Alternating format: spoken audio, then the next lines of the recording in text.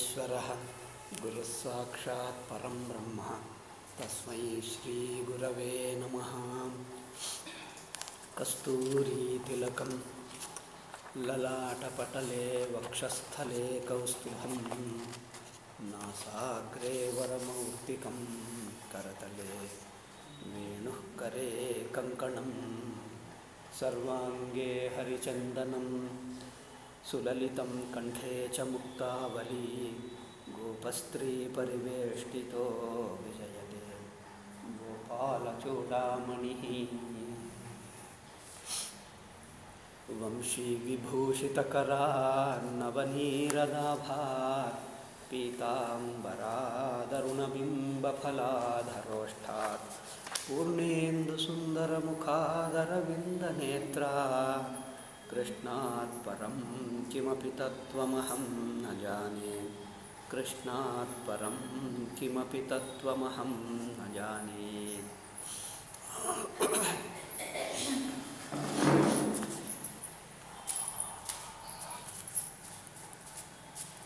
ಶ್ರೀಕೃಷ್ಣ ಹಸ್ತಿನಾಪುರದಿಂದ ದ್ವಾರಕಕ್ಕೆ ಹೋಗಲು ಹೊರಟಿದ ಸೊ ಅದು ದೊಡ್ಡ ಅರಮನೆ. ಅಲ್ಲವೇ, ನಮ್ಮ ಹಾಗೆಲ್ಲ ದೊಡ್ಡ ಅರಮನೆ. ಅದರಿಂದ ಅನೇಕ ಜನರು, ಸಾವಿರ ಸಾವಿರ ಜನರು ಬಂದಿದ್ದಾರೆ. ಕೆಲವರು ಕೆಳಗೆ ಮೇಲೆ ಜಾಗ ಇಲ್ಲ ಎಂದ ಮೇಲೆ ಬಾಲ್ಕನಿಗಳಿರುತ್ತವೆ ನೋಡಿ, ಅಂತ ಅದರ ಅಲ್ಲಿದ್ದರೂ ನೋಡ್ತಾ ಇದ್ದಾರೆ. ನೋಡುತ್ತಾ ಕೆಲವರು, ಭಕ್ತಿ ಇದೆ. ಭಕ್ತಿಯಲ್ಲಿ ವಿರಹ ಇದೆ. ನಮಗೆ ಯಾರ ಮೇಲೆ ಪ್ರೇಮ ಇರುತ್ತದೋ ಅವರು ನಮಗೆ ದೂರವಾಗ್ತಾ ಇದ್ದಾರೆ. ಆ ದೂರವನ್ನು ಆ ಭಕ್ತಿ ಭಾವದಿಂದಲೇ ನೋಡಬೇಕು. ಅದು ಅದು ವಿಶೇಷ. ಭಕ್ತಿ ಭಾವದಿಂದಲೇ ವಿರಹವನ್ನು ನೋಡುತ್ತಾ ಇದ್ದಾರೆ. ಆ ವಿರಹವು ಪ್ರೀತಿಯಿಂದ ಉಂಟಾಗಿರುವ ವಿರಹವೇ ಹೊರತು ಸ್ವಾರ್ಥದಿಂದ ಅಲ್ಲ. ಆ ಭಾವದಿಂದ ಅವರಿಗೆ ಮನಸ್ಸಿನಲ್ಲಿ ಹೊಳೆದಿರುವ ಭಾವಗಳನ್ನು ಹೇಳ್ಕೊಡ್ತಾ ಇದ್ದಾರೆ. ಶ್ರೀಕೃಷ್ಣನ ಸ್ತುತಿ ತಸ್ಮಿನ್ನಸ್ತಧಿಯ ಪಾರ್ಥ ಸಹೇರಂಗಿರಹಂ ಕಥಂ. ನಿರಂತರ ಶ್ರೀಕೃಷ್ಣ ಸ್ಮರಣ ಸ್ಪರ್ಶ, ನೋಡು ದರ್ಶನ ಸ್ಪರ್ಶ ಸಂಲಾಪ ಶಯನಾಸನ ಭೋಜನೈ. ನಿರಂತರ ದರ್ಶನ ಇತ್ತು ಶ್ರೀಕೃಷ್ಣನದು, ಅಲ್ಲೇ ಅರಮನೆಯಲ್ಲೇ ಇದ್ದರು. ಸ್ಪರ್ಶ ಇತ್ತು.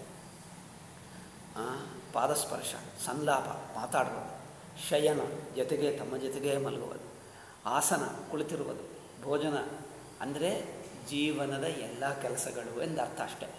ತಾತ್ಪರ್ಯ, ಎಲ್ಲ ಕೆಲಸಗಳನ್ನು ಶ್ರೀಕೃಷ್ಣನ ಜೊತೆಗೆ ನಡೆಸಿ ನಡೆಸಿ ನಡೆಸಿ, ಈಗ ಶ್ರೀಕೃಷ್ಣ ಹೋಗ್ತಾ ಇದ್ದರೆ ಮನಸ್ಸಿನಲ್ಲಿ ಯಾವ ಭಾವ ಉಂಟಾಗಬೇಕು ನೋಡಿ. ತಸ್ಮಿನ್ನ ಸ್ಥದಿಯ ಪಾರ್ಥ ಸಹೇರನ್ವರ ವಿರಹಂ ಕಥಂ. ಅವರ ವಿರಹ ಹೇಗಿರುತ್ತದೆ ನೋಡಿ, ಎಷ್ಟು ತ, ಎಷ್ಟು ಸಹಿಸಕ್ಕಾಗಲ್ಲವೋ. ಆ ವಿರಹದಿಂದ ಸರ್ವೇ ತೇ ನಿಮಿಷೈರಕ್ಷೈ ತಮನುದ್ರುತ ಚೇತಸಃ ಅವರ ತೇ ಅನಿಮಿಷೈರಕ್ಷೈ ಕಣ್ಣಿನಿಂದ ಈ ರೆಪ್ಪೆ ನಿಮಿಷ ನಿಮಿಷ ಅಂದರೆ ಈ ರೆಪ್ಪೆಯನ್ನು ಹಾಕುವುದನ್ನು ಕೆಳಗೆ ನಿಮಿಷ ಅನಿಮಿಷ ಅಂದರೆ ರೆಪ್ಪೆ ಹಾಕದೇ ಇದ್ದಂತೆ ಹಾಕದೇ ಇದ್ದಂತೆ ನೋಡ್ತಾ ಇದ್ದೆ. ಅಂದರೆ ಹಾಕದೇ ಇರುತ್ತೆ ರೆಪ್ಪೆ ತಾತ್ಪರ್ಯ ಏನಂದರೆ ಅಷ್ಟು ಪ್ರೀತಿಯಿಂದ ಆ ಕಣ್ಣು ಮುಚ್ಚಿಕೊಳ್ಳದೆ ನಿರಂತರವಾಗಿ ಅವನನ್ನೇ ನೋಡಬೇಕೆಂದ ಭಾವದಿಂದ ನೋಡ್ತಾ ಇದ್ದ ಸರ್ವೇ ತೇ ನಿಮಿಷೈರಕ್ಷೈ ತ್ವಮನುದ್ರುತ ಚೇತಸಃ. ಅವರ ಹೃದಯವೂ ಹಾಗೆ ಶ್ರೀಕೃಷ್ಣನ ಮೇಲೇ ಶ್ರೀಕೃಷ್ಣನ ಕೈ, ಕಾಲು, ಅವರ ಪಾದ, ಅವರು ಎಲ್ಲಿದ್ದಾರೋ ಅಲ್ಲೇ ಅವರು ಮಾಡುತ್ತಿರುವ ಅಲ್ಲೇ ಇದೆ. ಮನಸ್ಸು ಅಲ್ಲೇ ಇದೆ. ಕಣ್ಣು, ಕಣ್ಣಿನ ದೃಷ್ಟಿ ಅಲ್ಲೇ ಇದೆ.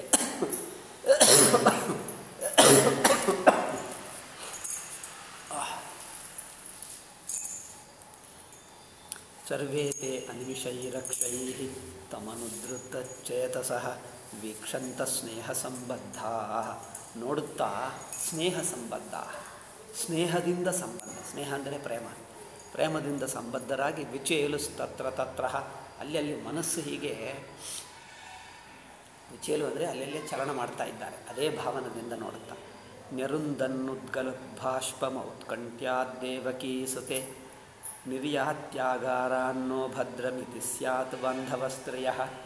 ಅಲ್ಲಿ ಹಸ್ತಿನಾಪುರದಲ್ಲಿರುವ ಕುಂತಿ, ದ್ರೌಪದಿ, ಸುಭದ್ರ ಗಂಧಾರಿ, ಇನ್ನು ಇತ್ಯಾದಿ ಸ್ತ್ರೀಯರಿದ್ದಾರಲ್ಲ, ಅವರಿಗೆ ಶ್ರೀಕೃಷ್ಣ ಹೋಗ್ತಾನೆ ಎಂದು ಆ ಮಾತು ತಕ್ಕ ಬಂದರೆ ಸಾಕು, ಕಣ್ಣಿನಿಂದ ನೀರು ಬಂದುಬಿಟ್ಟಿತು.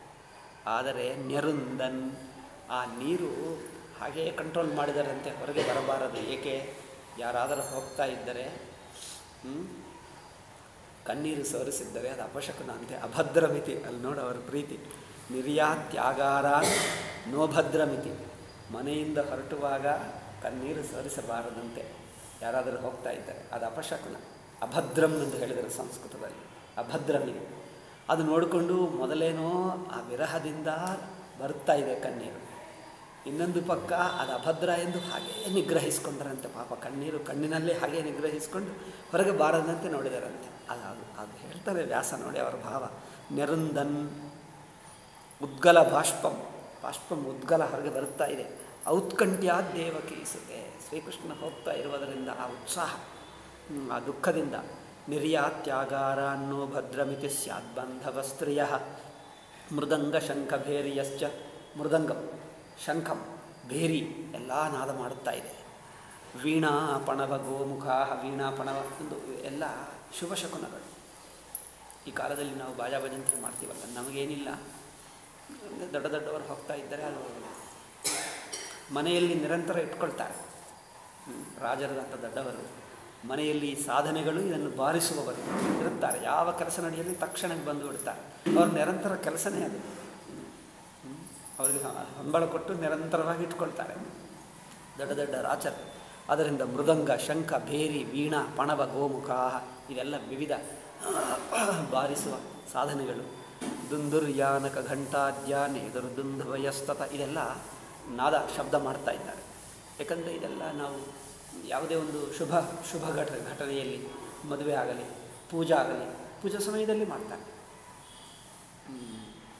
ರಾಜನ ಮನೆಯಲ್ಲಿ ಪ್ರತಿ ದಿವಸ ಬೆಳಗ್ಗೆ ಮಾಡ್ತಾರೆ. ಪ್ರತಿ ದಿವಸ ಬೆಳಗ್ಗೆ, ಸುಮ್ಮ ಸುಮ್ಮನೆ. ಬೆಳಗ್ಗೆ ಎದ್ದ ತಕ್ಷಣ ಸ್ವಲ್ಪ ಬಾಜಾ, ಆ ಮ್ಯೂಸಿಕ್ ಸ್ವಲ್ಪ ಹೊತ್ತು ನಡೆಯುತ್ತದೆ, ನಂತರ ನಿಂತ ಹೋಗ್ತದೆ. ಪ್ರತಿ ದಿವಸ ಬೆಳಗ್ಗೆ. ನಾನು ಎಲ್ಲಿ ನೋಡಿದೆ ಕಾಶಿಗೆ ಹೋದಾಗ, ಕಾಶಿ ರಾಜ ಇದ್ದಾರೆ. ಇವಾಗಲ್ಲ, ಇಬ್ಬ, ಯಾವಾಗಲೂ ಮೂವತ್ತು ವರ್ಷ ಹಿಂದೆ. ಕಾಶಿ ರಾಜ ಹಾಕಿ ಬೆಳಗ್ಗೆ ಹೋದಾಗ ಅಲ್ಲೆಲ್ಲ ಬಾಜಾ ನಡೆಯುತ್ತಿತ್ತು. ಇದೇನು ಅಂದರೆ, ಇದು ರಾಜರ ಮನೆ, ಅರಮನೆ, ಅದಕ್ಕಾಗಿ ಇಲ್ಲಿ ಬೆಳಗ್ಗೆ ವಾಯಿಸ್ತಾ ಇದ್ದಾರೆ. ಬೆಳಗ್ಗೆ ಒಂದು ಸಂಡೆ ಬಂದು, ಅದು ವಾಯಿಸ್ತಾರೆ ಅದು ಫುಲ್ ಟೈಮ್ ಕೆಲಸನೇ ಅದು. ಹಾಗೆ ಪ್ರಾಸಾದ ಶಿಖರಾರೂಢ ಕರುಣಾರ್ಯೋ ದಿದೃಕ್ಷಯ ವವೃಷು ಕುಸುಮೈ ಕೃಷ್ಣಂ ಪ್ರೇಮ ವೀಡಾಸ್ಮಿತೆ ಕ್ಷಣೈ ಪ್ರಾಸಾದ ಶಿಖರ ಮೇಲೆ ಬಾಲ್ಕನಿಗಳು ಮೇಲೆ ಮೇಲೆ ಫಸ್ಟ್ ಫ್ಲೋರ್ ಸೆಕೆಂಡ್ ಫ್ಲೋರ್ ಆ ಕಾಲದಲ್ಲಿ ಫ್ಲೋರ್ಗಳಿತ್ತು ನೋಡಿ. ಆ ಮೇಲಿನ ಫ್ಲೋರ್ ಆ ಆರೂಢರಾಗಿ ನೋಡಿ ನೋಡಬೇಕೆಂದು ಪುಷ್ಪವರ್ಷವನ್ನು ಮಾಡ್ತಾ ಇದ್ದಾರೆ. ಕೃಷ್ಣ ಹೋಗ್ತಾ ಇದ್ದರೆ ಮೇಲೆಗೆ ಹತ್ತು ಪುಷ್ಪವರ್ಷ ಮಾಡ್ತಾ ಇದ್ದಾರೆ. ವಿತ್ ಪ್ರೀತಿ, ಒಂದೇನು ಪ್ರೇಮ ಇದೆ, ವ್ರೀಡ ಇದೆ ಅಂದರೆ ಒಂದು ಒಂದು ವ್ರೀಡ ಅಂದರೆ ಏನು ಹೇಳಬೇಕು? ಪ್ರೇಮ, ಪ್ರೇಮದಿಂದಲೇ ಆಗಿರುವ ನಾಚಿಕೆ. ಎಲ್ಲವೂ ಮನೋಭಾವ ಎಲ್ಲ. ಸಿತಾತಪತ್ರಂ ಜಗ್ರಾಹಂ ಪ್ರದಾಮ ವಿಭೂಷಿತಂ ರತ್ನದಂಡಂ. ಅರ್ಜುನ ಅವರಿಗೆ ಛತ್ರ, ಯಾಕಂದರೆ ರಾಜರಿಗೆ ಏನು ಹೇಳ್ತಾರೆ ಶ್ವ- ಶ್ವೇತಛತ್ರ. ಶ್ವೇತಛತ್ರ ಅಂದರೆ ಬಿಳಿ ಛತ್ರಿ. ಬಿಳಿ ಛತ್ರಿ. ಅದಕ್ಕಾಗಿ ನಾವು ಯಾರು ನಮಗೆ ಬಿಳಿ ಛತ್ರಿ ಕೊಡಲ್ಲ. ನಮಗೆಲ್ಲವೂ ಬ್ಲ್ಯಾಕ್ ಛತ್ರಿ ಇರುತ್ತದೆ ಅಲ್ಲವೇ ನಮಗೆ. ರಾಜರಿಗೆ ಮಾತ್ರ ಬಿಳಿ ಛತ್ರಿ. ಛತ್ರಿ. ಅದಕ್ಕಾಗಿ ಶ್ವೇತಛತ್ರ. ಅದಕ್ಕಾಗಿ ಅಂಗಡಿಯಲ್ಲಿ ಯಾರು ಮಾಡಲ್ಲ ಅನಿಸುತ್ತದೆ ಬೇರೆ ಬಣ್ಣ ಏನೇನು ಬರ್ತದೆ ಮಾತ್ರ ಬಿಳಿ ಎಲ್ಲಿ ನೋಡಲ್ಲ ನಾವು. ರಾಜರಿಗೆ ಮಾತ್ರ ಇರ್ತದೇನೋ ಅದಕ್ಕಾಗಿ ಯಾರು ಮಾಡಲ್ಲ.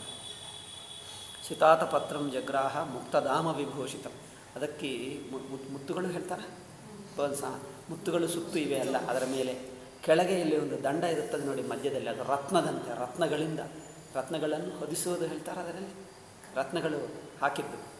ರತ್ನದಂಡಂ ಗುಡಾಕೇಶ ಪ್ರಿಯ ಪ್ರಿಯತಮಸ್ಯ ಎಂದು. ಏಕೆಂದರೆ ಎಲ್ಲರಿಗಿಂತ ಅತ್ಯಂತ ಪ್ರಿಯ ಶ್ರೀಕೃಷ್ಣ.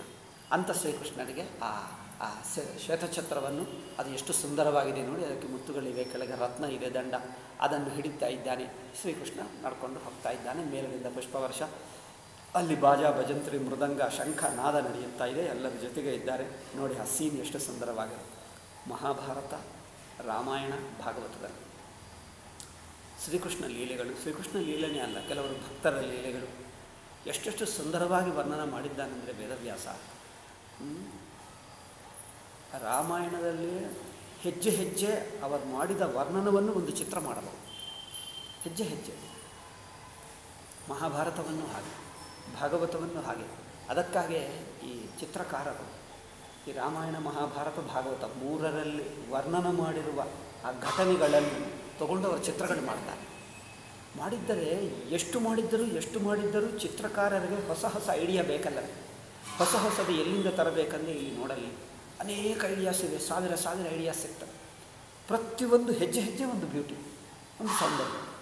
ಅದಕ್ಕಾಗಿ ಇಷ್ಟೊತ್ತು ನೋಡಿದ್ದೀವಲ್ಲ, ಪ್ರತಿಯೊಂದು ಹೆಜ್ಜೆ ಒಂದು ಸೌಂದರ್ಯ. ಆ ವ್ಯಾಸ ಮಾಡಿದ್ದು ಹೇಗಿದೆ? ಚಿತ್ರಕಾರರಿಗೆ ಚಿತ್ರ ಮಾಡಲಿಕ್ಕೆ ಅನುಕೂಲವಾದ ಘಟನೆಗಳು. ಅದು ಎರಡೂ ಇದೆ. ಶ್ರೀಕೃಷ್ಣ, ಅಲ್ಲಿ ರಾಮಚಂದ್ರ, ಅಲ್ಲಿ ಪಾಂಡವರು ಶ್ರೀಕೃಷ್ಣ ರಾಮ ಮಹಾಭಾರತದಲ್ಲಿ. ರಾಮಾಯಣದಲ್ಲಿ ರಾಮಚಂದ್ರ, ಹನುಮಂತ ಮ ಇತ್ಯಾದಿ ಮೊದಲಾದವರು. ಇಲ್ಲಿಯೂ ಶ್ರೀ ಭಗವಂತನ ಇದ್ದಾನೆ, ಭಕ್ತರಿದ್ದಾರೆ. ಇವರೆಲ್ಲರ ಜೀವನ ಘಟನೆಗಳು ಅಂಥ ದೊಡ್ಡವೆ. ಏಕೆಂದರೆ ಇಲ್ಲಿ ಇಲ್ಲಿ ಇಲ್ಲಿ ವರ್ಣನೆ ಮಾಡಿರುವ ಮಹನೀಯರು ಭಗವದ್ಭಕ್ತರು ಸಿದ್ಧ ಪುರುಷರು, ಮಹನೀಯರು. ಅವರ ಜೀವನವೇ ಒಂದು ಭಗವಂತನ ಲೀಲೆ ಹಾಗೆ ಇರುತ್ತದೆ. ವರ್ಣನ ಮಾಡಿದ್ದು ವೇದವ್ಯಾಸ. ಆ ವ್ಯ ಆ ಪುರುಷರು, ಪುರಾಣ ಪುರುಷರು ಸಾಮಾನ್ಯರಲ್ಲ, ಮಹನೀಯರು. ವರ್ಣನ ಮಾಡಿದ್ದು ಸಾಮಾನ್ಯನಲ್ಲ, ವೇದವ್ಯಾಸ. ಅದರಿಂದ ಪ್ರತಿಯೊಂದು ಹೆಜ್ಜೆ ಒಂದು ಸೀನ್ಕಿ ಒಂದು ಚಿತ್ರಕಾರರು ಬರೆಯುವಕ್ಕೆ ತಕ್ಕಷ್ಟು ಒಂದು ಸೀನ್ಗಳಿವೆ. ಇದು ನೋಡಿದ ವರ್ಣನ ಮಾಡಿದ್ದರೆ ಒಂದು ಸೀನ್ ಅವರ ಮುಖ.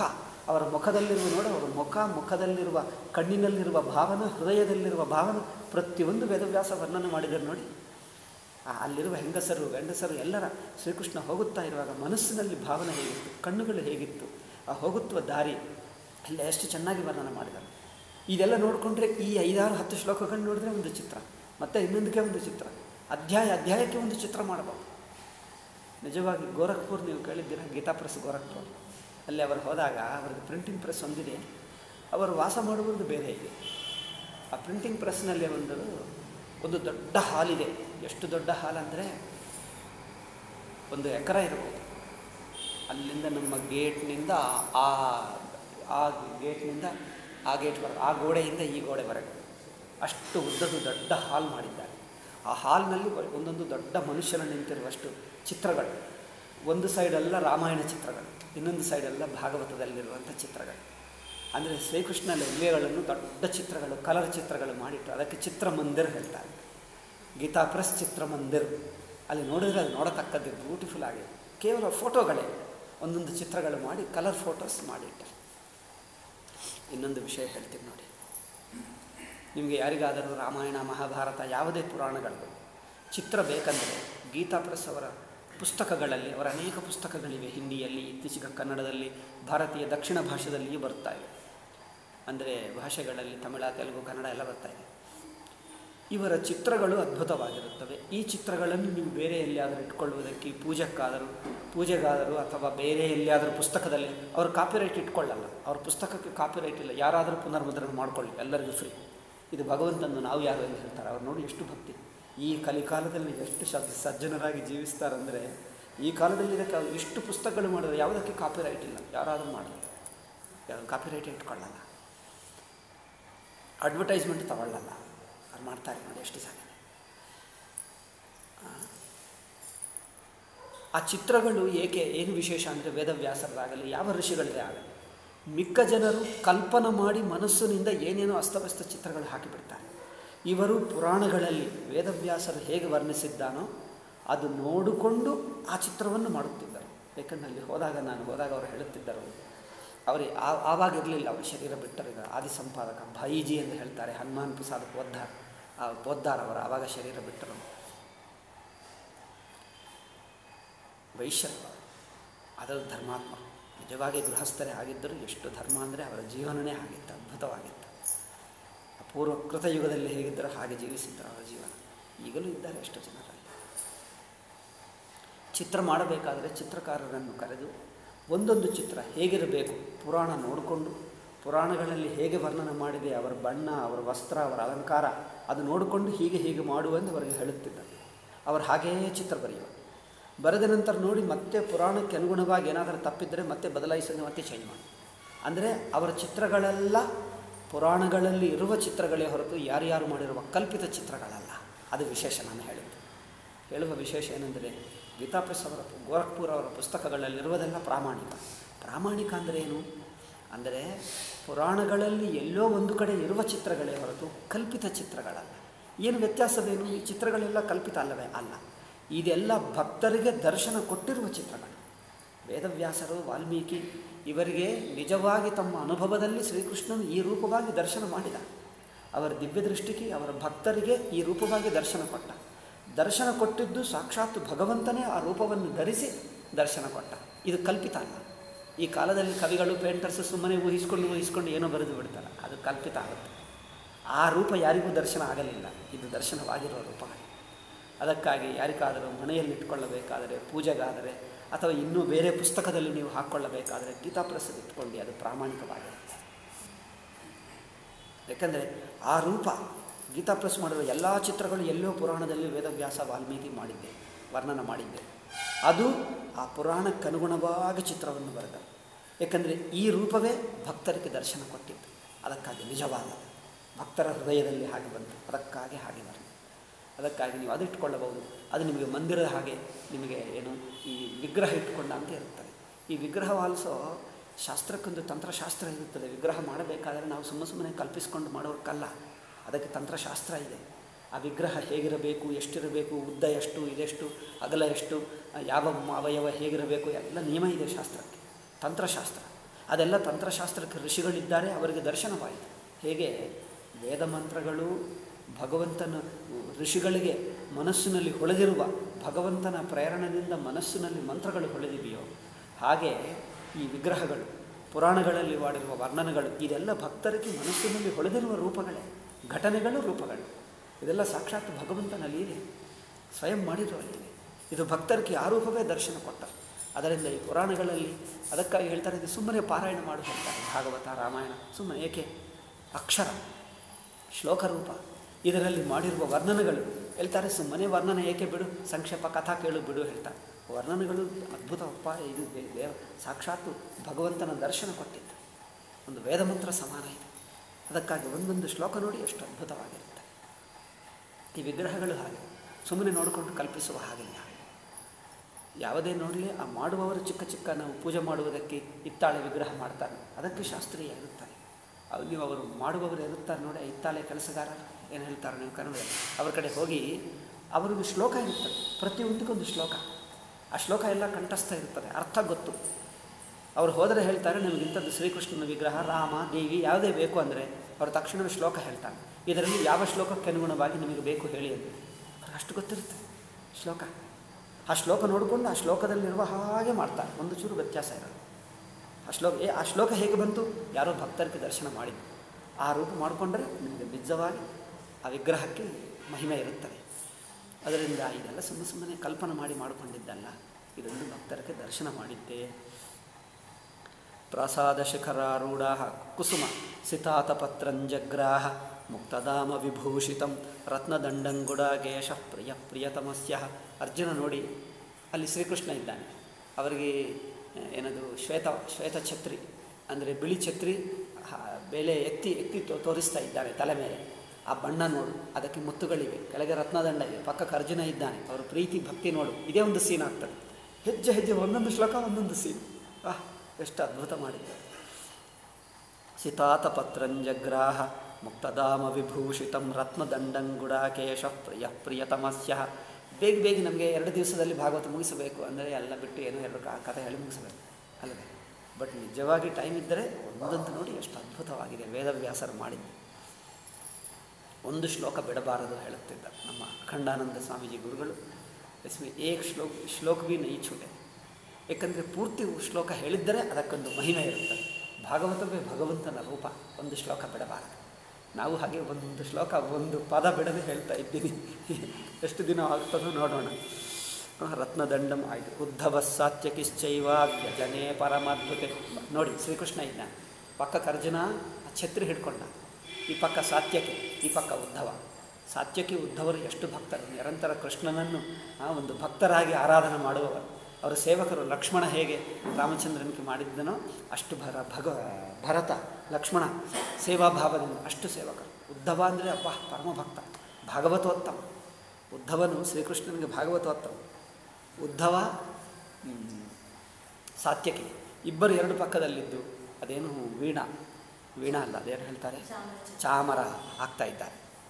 ವ್ಯಜನಂ ಉದ್ಧವ ವ್ಯಜನೇ ಪರಮದ್ಭುತೆ.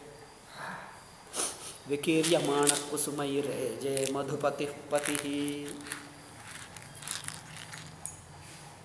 ಈಗ ದಾರಿಯಲ್ಲೆಲ್ಲ, ದಾರಿಯಲ್ಲಿ ಹೂ, ಪುಷ್ಪ ಪುಷ್ಪ ಇದೆ. ದಾರಿಯಲ್ಲಿ ಅವ್ರು ನಡ್ಕೊಂಡು ಹೋಗ್ತಾ ಇದ್ದರೆ ಕೆಳಗೆ ಪುಷ್ಪಗಳಿವೆ. ಮೇಲೆಯಿಂದ ಒಂದೊಂದು ಬೀಳುತ್ತಾ ಇದೆ. ಆ ಸೀನ್ ನೋಡಿ ಎಷ್ಟು ಸುಂದರವಾಗಿರುತ್ತೆ ದಿವ್ಯವಾದ ಚಿತ್ರ. ಅಶ್ರೂಯಂತಾಶಿಷ ಸತ್ಯಾಹ ತತ್ರ ತತ್ವ ದ್ವಿಜೇರಿತ.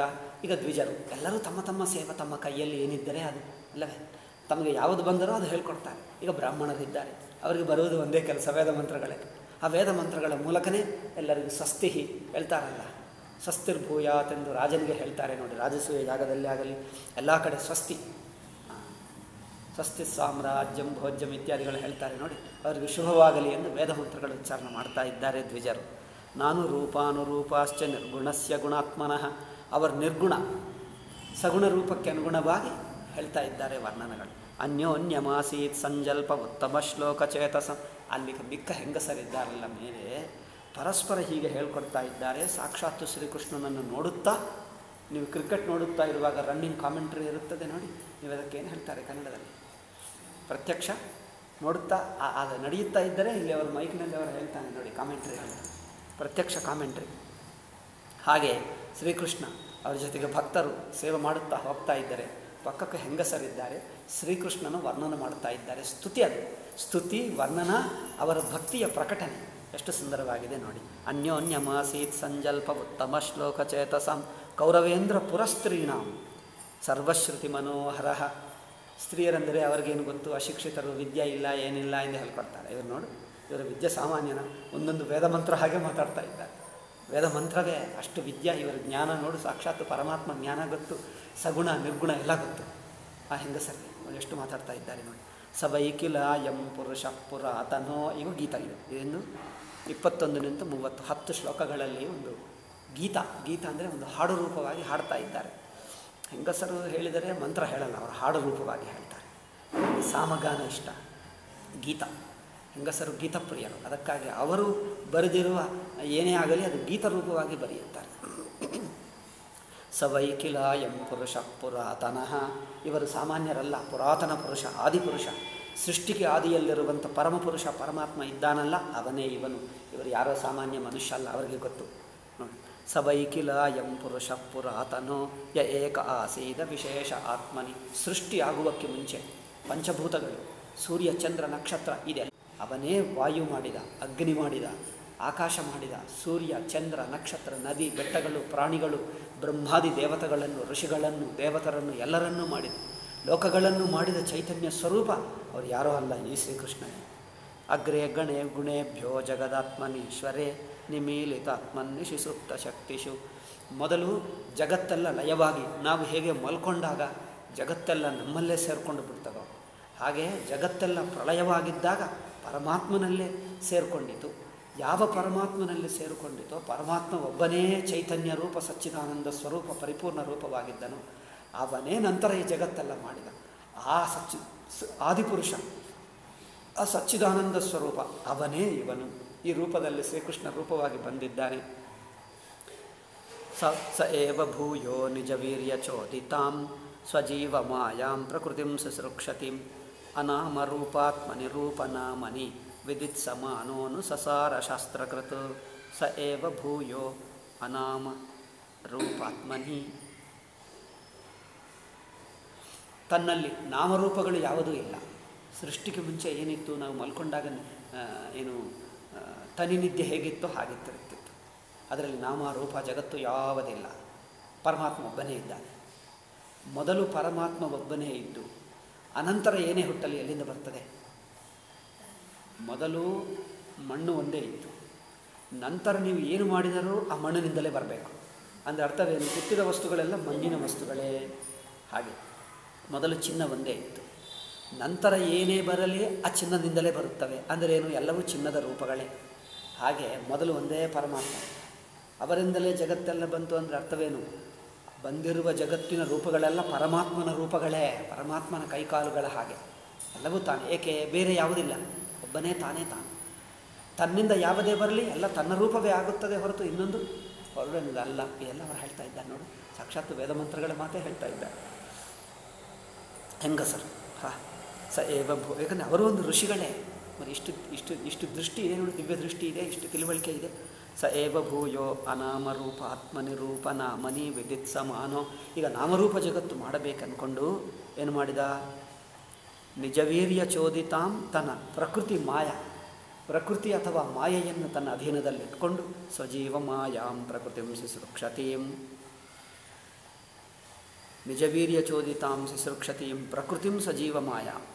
ಅನುಸಸಾರ ಆ ಮಾಯೆಯನ್ನು ತನ್ನ ಅಧೀನದಲ್ಲಿಟ್ಟುಕೊಂಡಿರುವ ಮಾಯೆಯನ್ನು ಬಳಸಿ ಜಗತ್ತಾಗಿ ತೋರಿದ್ದಾನೆ.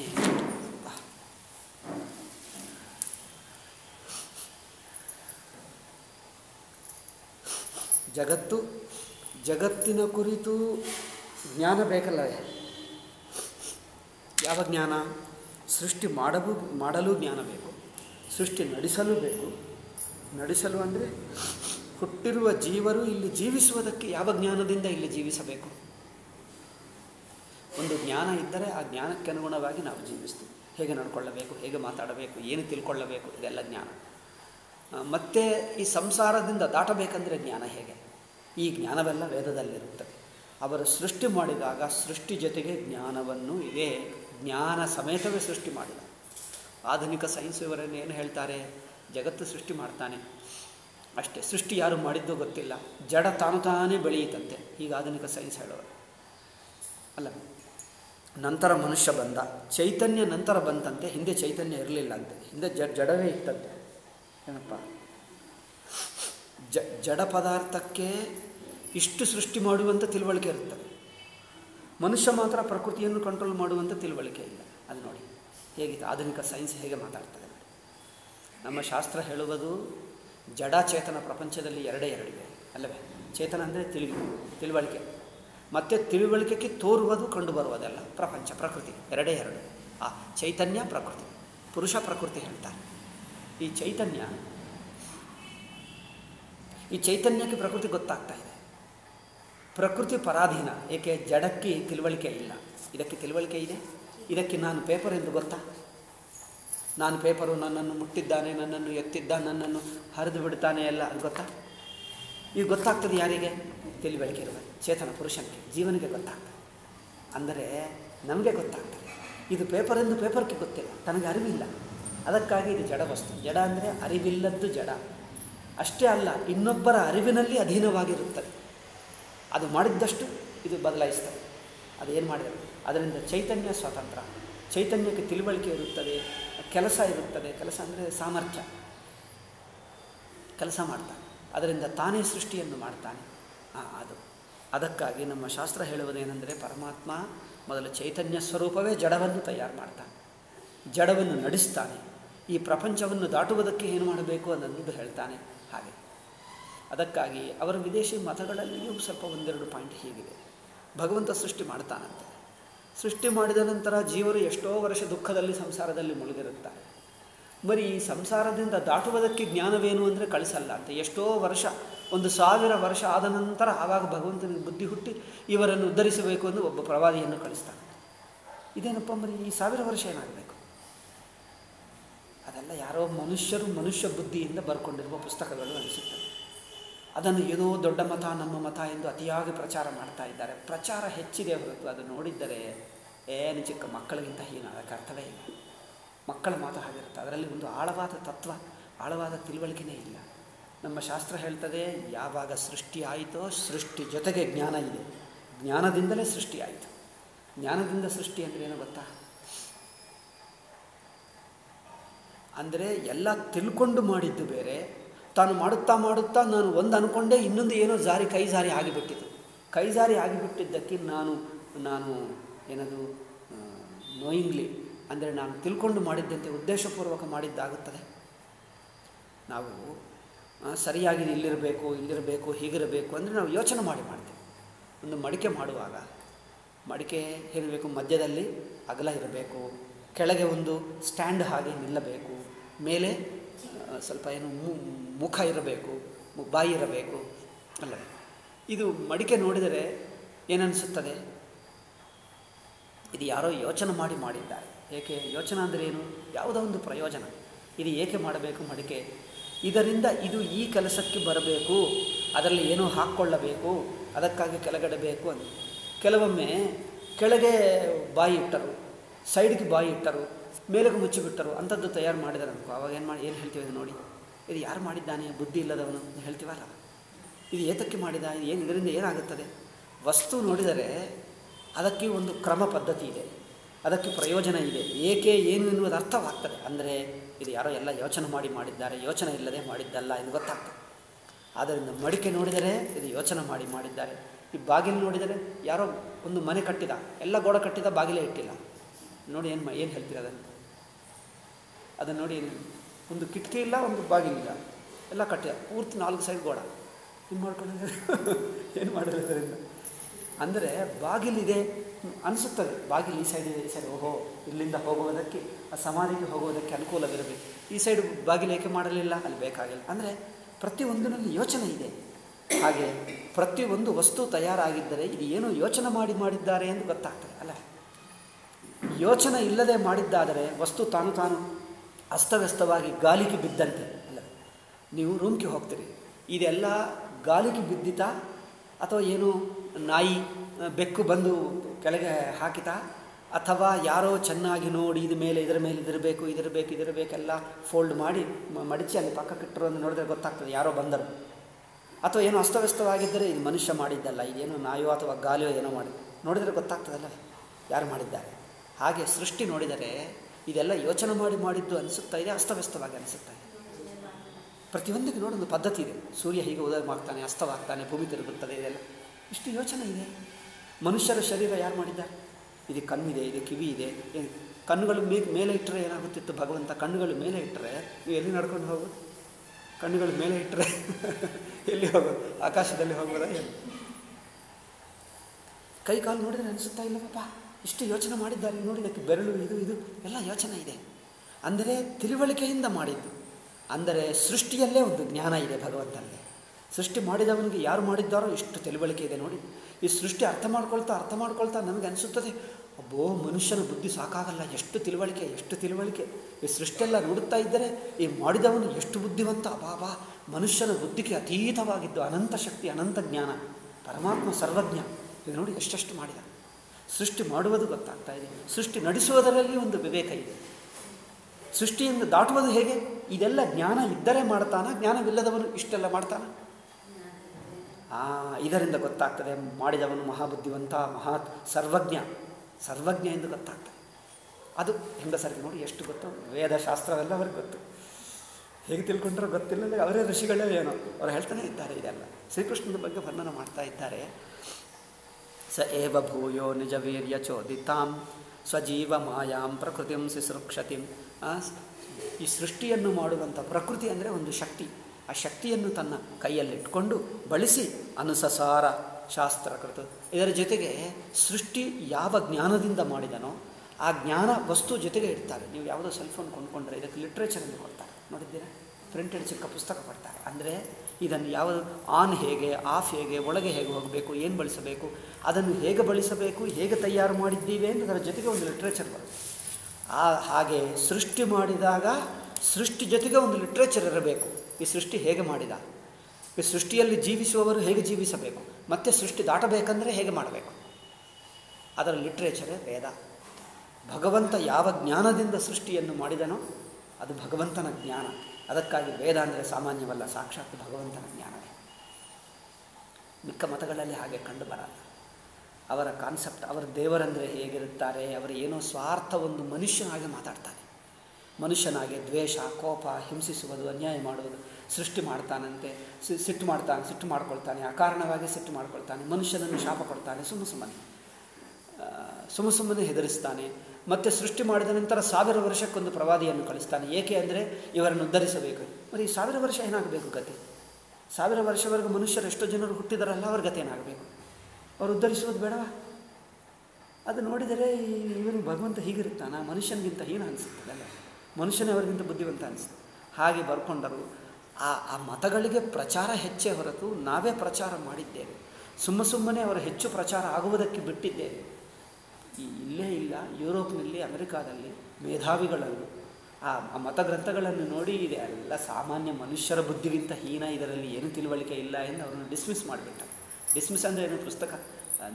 ವ್ಯರ್ಥ ಪುಸ್ತಕ, ನಿರುಪಯೋಗ, ಇದು ಓದತಕ್ಕದ್ದೇ ಅಲ್ಲ ಎಂದು ಬಿಸಾಕಿಬಿಟ್ಟ ಭಾರತೀಯರು ಮಾತ್ರ ನಮ್ಮ ನಮ್ಮ ಪಂಡಿತರು, ವಿದ್ವಾಂಸರು, ಗುರುಗಳು, ವೇದಾಂತಿಗಳು, ಬೈಬಲ್ ಕುರಾನ್ನಲ್ಲಿ ಏನಿದೆಯೋ ಓದದೆ ಎಲ್ಲ ಮತಗಳು ಸಮಾನ, ಅದರಲ್ಲಿಯೂ ಆಧ್ಯಾತ್ಮಿಕತೆ ಇದೆ, ಅದರಲ್ಲಿ ಪ್ರಪಂಚ ತತ್ವ ಹೇಳಿದ್ದಿದೆ, ಸೃಷ್ಟಿ ತತ್ವ ಹೇಳಿದ್ದಿದೆ, ಸೃಷ್ಟಿಯನ್ನು ಹೇಗೆ ದಾಟಬೇಕು, ಎಲ್ಲ ವೇದಸಾರವೇ ಅಲ್ಲಿದೆ ಎಂದು ಪ್ರಚಾರ ಮಾಡಿಬಿಟ್ಟರು. ಅವರು ಮಾಡಿದ್ದಾರೆ, ಅದನ್ನು ನೋಡಿಕೊಂಡು ನಮ್ಮ ಜನರು ಹಾಗೆ ಮಾಡಿಬಿಟ್ಟರು. ಅದಕ್ಕಾಗಿ ಹಿಂದೂ ದೇಶ ಎಲ್ಲ ಕನ್ಫ್ಯೂಸ್ ಕನ್ಫ್ಯೂಸ್ ಈಗ ಇರುವುದೆಲ್ಲ ಗೊಂದಲ, ಗೊಂದಲದಲ್ಲೇ ಆಗಿದೆ. ಭಾರತ ದೇಶ ಗತಿ ಗೊಂದಲ ಆಗಿದ್ದೇನೆಂದರೆ ಈ ಗುಲಾಮಿ ಕಾಲದಲ್ಲಿ ನಮಗೆ ಗೊತ್ತಿಲ್ಲದೆ ಬೈಬಲ್ ಕುರಾನೆಲ್ಲ ಪ್ರಶಂಸೆ ಮಾಡಿಬಿಟ್ಟಿದ್ದೇವೆ. ಅದರಲ್ಲಿ ಏನಿದೆ ಓದಿದ್ದರ ಪ್ರಶಂಸೆ ಮಾಡುವರು ಇಷ್ಟು ಗುರುಗಳು, ಸ್ವಾಮಿಗಳು, ಸನ್ಯಾಸಿಗಳು, ಪೀಠಾಧಿಪತಿಗಳು ಪಂಡಿತರು, ವಿದ್ವಾಂಸರು, ಬೈಬಲ್ ಕುರಾನಲ್ಲಿ ಏನಿದೆಯೋ ಓದಿದ್ದರ ಯಾರೂ ಓದಲೇ ಇಲ್ಲ. ನಮ್ಮ ಶಾಸ್ತ್ರದಲ್ಲಿದ್ದರೆ ಅದು ಒಂದು ಮತಗ್ರಂಥ ಅಲ್ಲವೇ, ಅದರಲ್ಲಿ ಇರಬಹುದು ಅಂದ್ಕೊಂಡು ಊಹಿಸ್ಕೊಂಡು ಅಲ್ಲಿ ನೋಡಿದರೆ ಏನಿಲ್ಲ, ಇಷ್ಟು ಆಧ್ಯಾತ್ಮಿಕತೆ ಇಲ್ಲ. ಈಗ ಹೇಳಿದ್ನಲ್ಲ, ಒಂದೇ ಮಾತು ಹೇಳಿದ್ದೆ. ಇನ್ನೂ ಬೇಕಾದಷ್ಟಿವೆ, ತಿಳಿಯತಕ್ಕ. ಇಲ್ಲಿ ಹೇಗೆ? ಜಗತ್ತಿನ ತತ್ವ ಇದೆಯೋ ಅಲ್ಲಿಲ್ಲ, ತತ್ವನೇ ಇಲ್ಲ. ಇಲ್ಲ, ಏಕೆಂದರೆ ಅವ್ರು ತುಂಬ ಹೆಚ್ಚು ಪ್ರಚಾರ ಪ್ರಚಾರ ಪ್ರಚಾರ. ನಮ್ಮದೇ ಶ್ರೇಷ್ಠ ನಮ್ಮದೇ ಶ್ರೇಷ್ಠ. ಹೆಚ್ಚು ಪ್ರಚಾರ ನೋಡಿಕೊಂಡು ನಮಗೆ ಅನಿಸುತ್ತದೆ ನೋಡಿ, ಎಲ್ಲ ಕಡೆ ಅಡ್ವರ್ಟೈಸ್ಮೆಂಟು ಜನರು ಏನು ಮಾಡ್ತಾರೆ? ಟಿ ವಿಯಲ್ಲಿ ಅಡ್ವರ್ಟೈಸ್ಮೆಂಟು ಅಂಗಡಿಯಲ್ಲಿ, ಪೇಟೆಯಲ್ಲಿ, ಎಲ್ಲಿ ನೋಡಿದರೂ ಕರಪತ್ರ ಕೊಡ್ತಾರೆ. ಎಲ್ಲಿ ನೋಡಿದ್ರೆ ಅದೇ ಅಡ್ವರ್ಟೈಸ್ಮೆಂಟ್ ಅದೇ ಅಡ್ವರ್ಟೈಸ್ಮೆಂಟ್ ನಮ್ಗೆ ಅನಿಸುತ್ತದೆ ಏನೋ ಒಳ್ಳೆಯ ವಸ್ತು, ಏನೋ ಎಲ್ಲರೂ ಕೊಡ್ತಾರೆ. ಅಡ್ವರ್ಟೈಸ್ಮೆಂಟು ಅಡ್ವರ್ಟೈಸ್ಮೆಂಟ್ ಗೊತ್ತಾ? ಜಾಹೀರಾತು. ಜಾಹೀರಾತು ಹೆಚ್ಚು, ಎಲ್ಲ ಕಡೆ ಅದೇ, ಕೋಟಿ ಕೋಟಿ ಖರ್ಚು ಮಾಡ್ತಾರೆ. ಟಿ ವಿಯಲ್ಲಿ ಮತ್ತೆ ಮತ್ತೆ ಹೆಜ್ಜೆ ಹೆಜ್ಜೆ ಐದೈದು ನಿಮಿಷಕ್ಕೆ ಅದೇ ಬರುತ್ತದೆ ನಮಗೆ ಅನಿಸುತ್ತದೆ ಎಷ್ಟು ಒಳ್ಳೆಯದೋ ಏನೋ ಎಂದು. ಒಳ್ಳೆಯದಾಗ್ತದೆ. ಹಣಕ್ಕೆ ಹೆಚ್ಚು ಖರ್ಚು ಮಾಡ್ತಾ ಇದ್ದಾರೆ ಅಷ್ಟೇ. ಎಲ್ಲರ ಕೈಯಲ್ಲಿ ಬೀರಲಿ, ಎಲ್ಲರ ಕಣ್ಣಿನಲ್ಲಿ ಬೀರಲಿ, ಎಲ್ಲರಿಗೆ ಗೊತ್ತಾಗಲಿ. ನಾವು ಅಂದ್ಕೊಳ್ತೀವಿ ಎಲ್ಲರ ಬಾಯಿಯಲ್ಲಿ ಅದೇ ಹೆಸರು ಅದೇ ಹೆಸರು ಅದೇ ಹೆಸರು ಅದೇ ಹೆಸರು. ಎಲ್ಲರ ಬಾಯಿಯಲ್ಲಿ ಅದೇ ಹೆಸರು. ಆ, ಇದು ಪ್ರಚಾರ ಹೆಚ್ಚೇ ಹೊರತು ಆ ಒಳಗೆ ಏನಿಲ್ಲ. ಪ್ರಚಾರ ಮಾಡಿದ್ದ ವಸ್ತುವಿನಲ್ಲಿ ತತ್ವ ಇಲ್ಲ. ಇದೆಲ್ಲ ಪ್ರಚಾರ ಯುಗ. ಪ್ರಚಾರ ಇಲ್ಲ ಅಂದರೆ ಕಟ್ಟ ವಸ್ತುವನ್ನಾದರೂ, ವಿಷವನ್ನಾದರೂ ನಿಮಗೆ ಒಳ್ಳೆಯದು ಎಂದು ಹೆಚ್ಚು ಪ್ರಚಾರ ಮಾಡಿಬಿಡ್ತಾರೆ ಈ ಕಾಲದಲ್ಲಿ ಅದೇ ಮಾಡ್ತಾ ಇದ್ದಾರಲ್ಲ ರಿಫೈನ್ಡ್ ಆಯಿಲ್ ಒಳ್ಳೆಯದು, ಒಳ್ಳೆಯದೆಂದು, ಓ, ನಿಮ್ಗೆ ಏನು ಆರೋಗ್ಯ? ಅದು ವಿಷ ಅದು ರಿಫೈನ್ಡ್ ಆಯಿಲ್. ಅದೇ ಹೆಚ್ಚು ಪ್ರಚಾರ ಮಾಡಿ ಮಾಡಿ ಮಾಡಿ ಬಿಡ್ತಾ ಇದ್ದಾರೆ ತುಪ್ಪ ತಿನ್ನಬೇಡಿ ಎಂದು ಹೇಳ್ತಾ ಇದ್ದಾರೆ ಇದೆಲ್ಲ ದುಷ್ಟರು, ಪಾಪಾತ್ಮ, ಈ ಪ್ರಚಾರ ಮಾಡಿದ್ದೆಲ್ಲ ಇಷ್ಟು ದಿವಸ ಪ್ರಚಾರ ಮಾಡಿ ಮಾಡಿ ನಮಗೆ ಈ ಶುಗರು, ಬಿ ಪಿ ಎಲ್ಲರಿಗೂ ಬರುತ್ತಾ ಇದೆ ಎಂದು ಇದೆ ತುಪ್ಪ ತಿನ್ನಬೇಡಿ, ರಿಫೈನ್ ಹೇಳಿ, ಅದು ಕೆಮಿಕಲ್ ನೋಡಿ, ಬಾಳೆಹಣ್ಣಿಗೆ ಕೆಮಿಕಲ್ ಹಾಕಿ ಇದಕ್ಕೆ ಕೆಮಿಕಲ್ ಹಾಕಿ, ಇದೆಲ್ಲ ಡೆವಲಪ್ಮೆಂಟ್ ಪ್ರಚಾರ ಹೆಚ್ಚಾಗ್ತಾ ಇದೆ ಎಲ್ಲಿ ನೋಡಿದರೆ ಅಲ್ಲಿ. ಪ್ರಚಾರ ಹೆಚ್ಚಾಗೋದರಿಂದ ಮಹಾತ್ಮರಾಗ್ತಾರೆ ದುಷ್ಟರು, ಪಾಪಾತ್ಮರು. ಪಾಪಾತ್ಮರು ಹೆಚ್ಚು ಪ್ರಚಾರವೇ ಮಾಡ್ಕೊಳ್ತಾರೆ. ರಾಮಾಯಣದಲ್ಲಿ ರಾಮನ ಹೆಸರು ಎಷ್ಟು ಸಲ ಬರ್ತದೋ ರಾವಣ ಹೆಸರು ಅಷ್ಟೇ ಸಲ ಬರ್ತದೆ. ಅಲ್ಲ? ರಾಮಾಯಣದಲ್ಲಿ ರಾವಣ ಇದ್ದರೆ ರಾಮಾಯಣ ಇರ್ತಾನೆ? ಇರ್ತಾರೆ ರಾವಣನ ಹೆಸರು ಅಷ್ಟು ಸಲ ಬಂದರೆ ಅದೇನು ಪವಿತ್ರ ಹೆಸರೇನು? ಆ ಹೆಸರು ತಗೊಳ್ತಾ ಇದ್ದರೆ ನೀವು ಪುಣ್ಯಾತ್ಮರಾಗ್ತೀರಾ? ಅದು ಅಷ್ಟೇ. ಪ್ರಚಾರ ಮಾಡ್ಕೊಳ್ತಾರೆ. ಭಾರತೀಯರಿಗೆ ಪ್ರಚಾರವೈದ ಮಾತ್ರದಿಂದ ಅದು ಒಳ್ಳೆಯದಾಗಬೇಕಾಗಿಲ್ಲ ಎಂದು ಭಾರತೀಯರಿಗೆ ಗೊತ್ತಾಗಬೇಕು. ಹಿಂದೂ ಗುರುಗಳಿಗೆ ಮೊದಲು ಗೊತ್ತಾಗಬೇಕು. ಪ್ರಚಾರ ಮಾಡಿದ ಮಾತ್ರದಿಂದ ಅದೇನು ದೊಡ್ಡ ಆಗಲ್ಲ ಪ್ರಚಾರರು ದುಷ್ಟರೇ ಹೆಚ್ಚು ಅತಿಯಾಗಿ ಮಾಡಿಕೊಳ್ತಾರೆ. ಪ್ರಚಾರ ಮಾಡಿದ ಮಾತ್ರದಿಂದ ದೊಡ್ಡದೇನಾಗಬೇಕಾಗಿಲ್ಲ.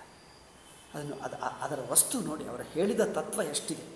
ಎಷ್ಟರ ಮಟ್ಟಿಗೆ ಸರಿಯಾಗಿದೆ? ಆ ತತ್ವವನ್ನು ವಿಚಾರ ಮಾಡಿ ನೋಡಿ. ಅದು ನೋಡ್ತಾ ಇಲ್ಲ ನಾವು. ಸುಮ್ಮ ಸುಮ್ಮನೆ ಪ್ರಚಾರ ಮಾಡಬೇಡ.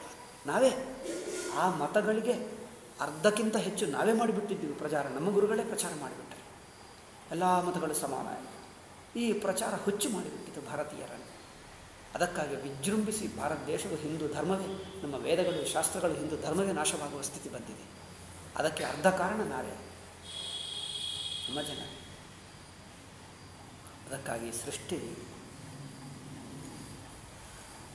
ಸೃಷ್ಟಿ ಯಾವಾಗಿತ್ತೋ ಸೃಷ್ಟಿದ ಸೃಷ್ಟಿಯ ಜ್ಞಾನ ಅದರ ಜೊತೆಗೆ ಇತ್ತು. ಏಕೆಂದರೆ ಜ್ಞಾನದಿಂದಲೇ ಸೃಷ್ಟಿ ಆಯಿತು. ಸೃಷ್ಟಿ ಆದ ನಂತರ ಜ್ಞಾನ ಹುಟ್ಟಲಿಲ್ಲ. ಸೃಷ್ಟಿ ಆದ ನಂತರ ಜ್ಞಾನ ಹುಟ್ಟಲಿಲ್ಲ. ಮೊದಲು ಜ್ಞಾನ ಇತ್ತು. ಮಡಿಕೆ ಮಾಡುವಾಗ ನಮ್ಮ ಶಾಸ್ತ್ರ ಹೀಗೆ ಹೇಳ್ತದೆ. ಇದೆಲ್ಲ ತರ್ಕಶಾಸ್ತ್ರ, ಮೀಮಾಂಸ, ವೇದಾಂತದಲ್ಲಿ ತುಂಬ ದೊಡ್ಡ ಚರ್ಚೆಗಳಿವೆ. ಅದೆಲ್ಲ ತರ್ಕಶಾಸ್ತ್ರ ನಿಮಗೇಕೆ ಎಂದು ಬಿಟ್ಟೆ ಬಟ್ ಸಾಮಾನ್ಯ ಸಾ ತಾತ್ಪರ್ಯ ಹೇಳ್ತಾ ಇದ್ದೀನಿ ಸಾರವೆಲ್ಲ ಹೇಳ್ತಾ ಇದ್ದೀನಿ. ಒಬ್ಬ ಮಡಿಕೆ ಮಾಡುವವನು. ನಾನು ಮಣ್ಣು ಮಣ್ಣು ತಗೊಂಡು ಬರ್ತಾನೆ ನಾನು ಏನು ಮಾಡಬೇಕು ಅಂತ ಯೋಚನೆ ಇರುತ್ತದಲ್ಲ? ಮಡಿಕೆ ಮಾಡ್ತಾನ? ಇನ್ನೇನು ಮಾಡ್ತಾನೆ? ಮುಚ್ಚಳ ಮಾಡ್ತಾನ? ಅಥವಾ ಏನು? ಅದರ ಮೇಲೆ ಇರ್ತದೆ ನೋಡಿ ಅದಕ್ಕೇನು ಹೇಳ್ತಾರಪ್ಪ? ಹಾಂ? ಹೆಂಚ. ಆ ಹೆಂಚ. ಹೆಂಚ ಇದು ನಾನು ಮಾಡುವುದು ಯಾವುದು?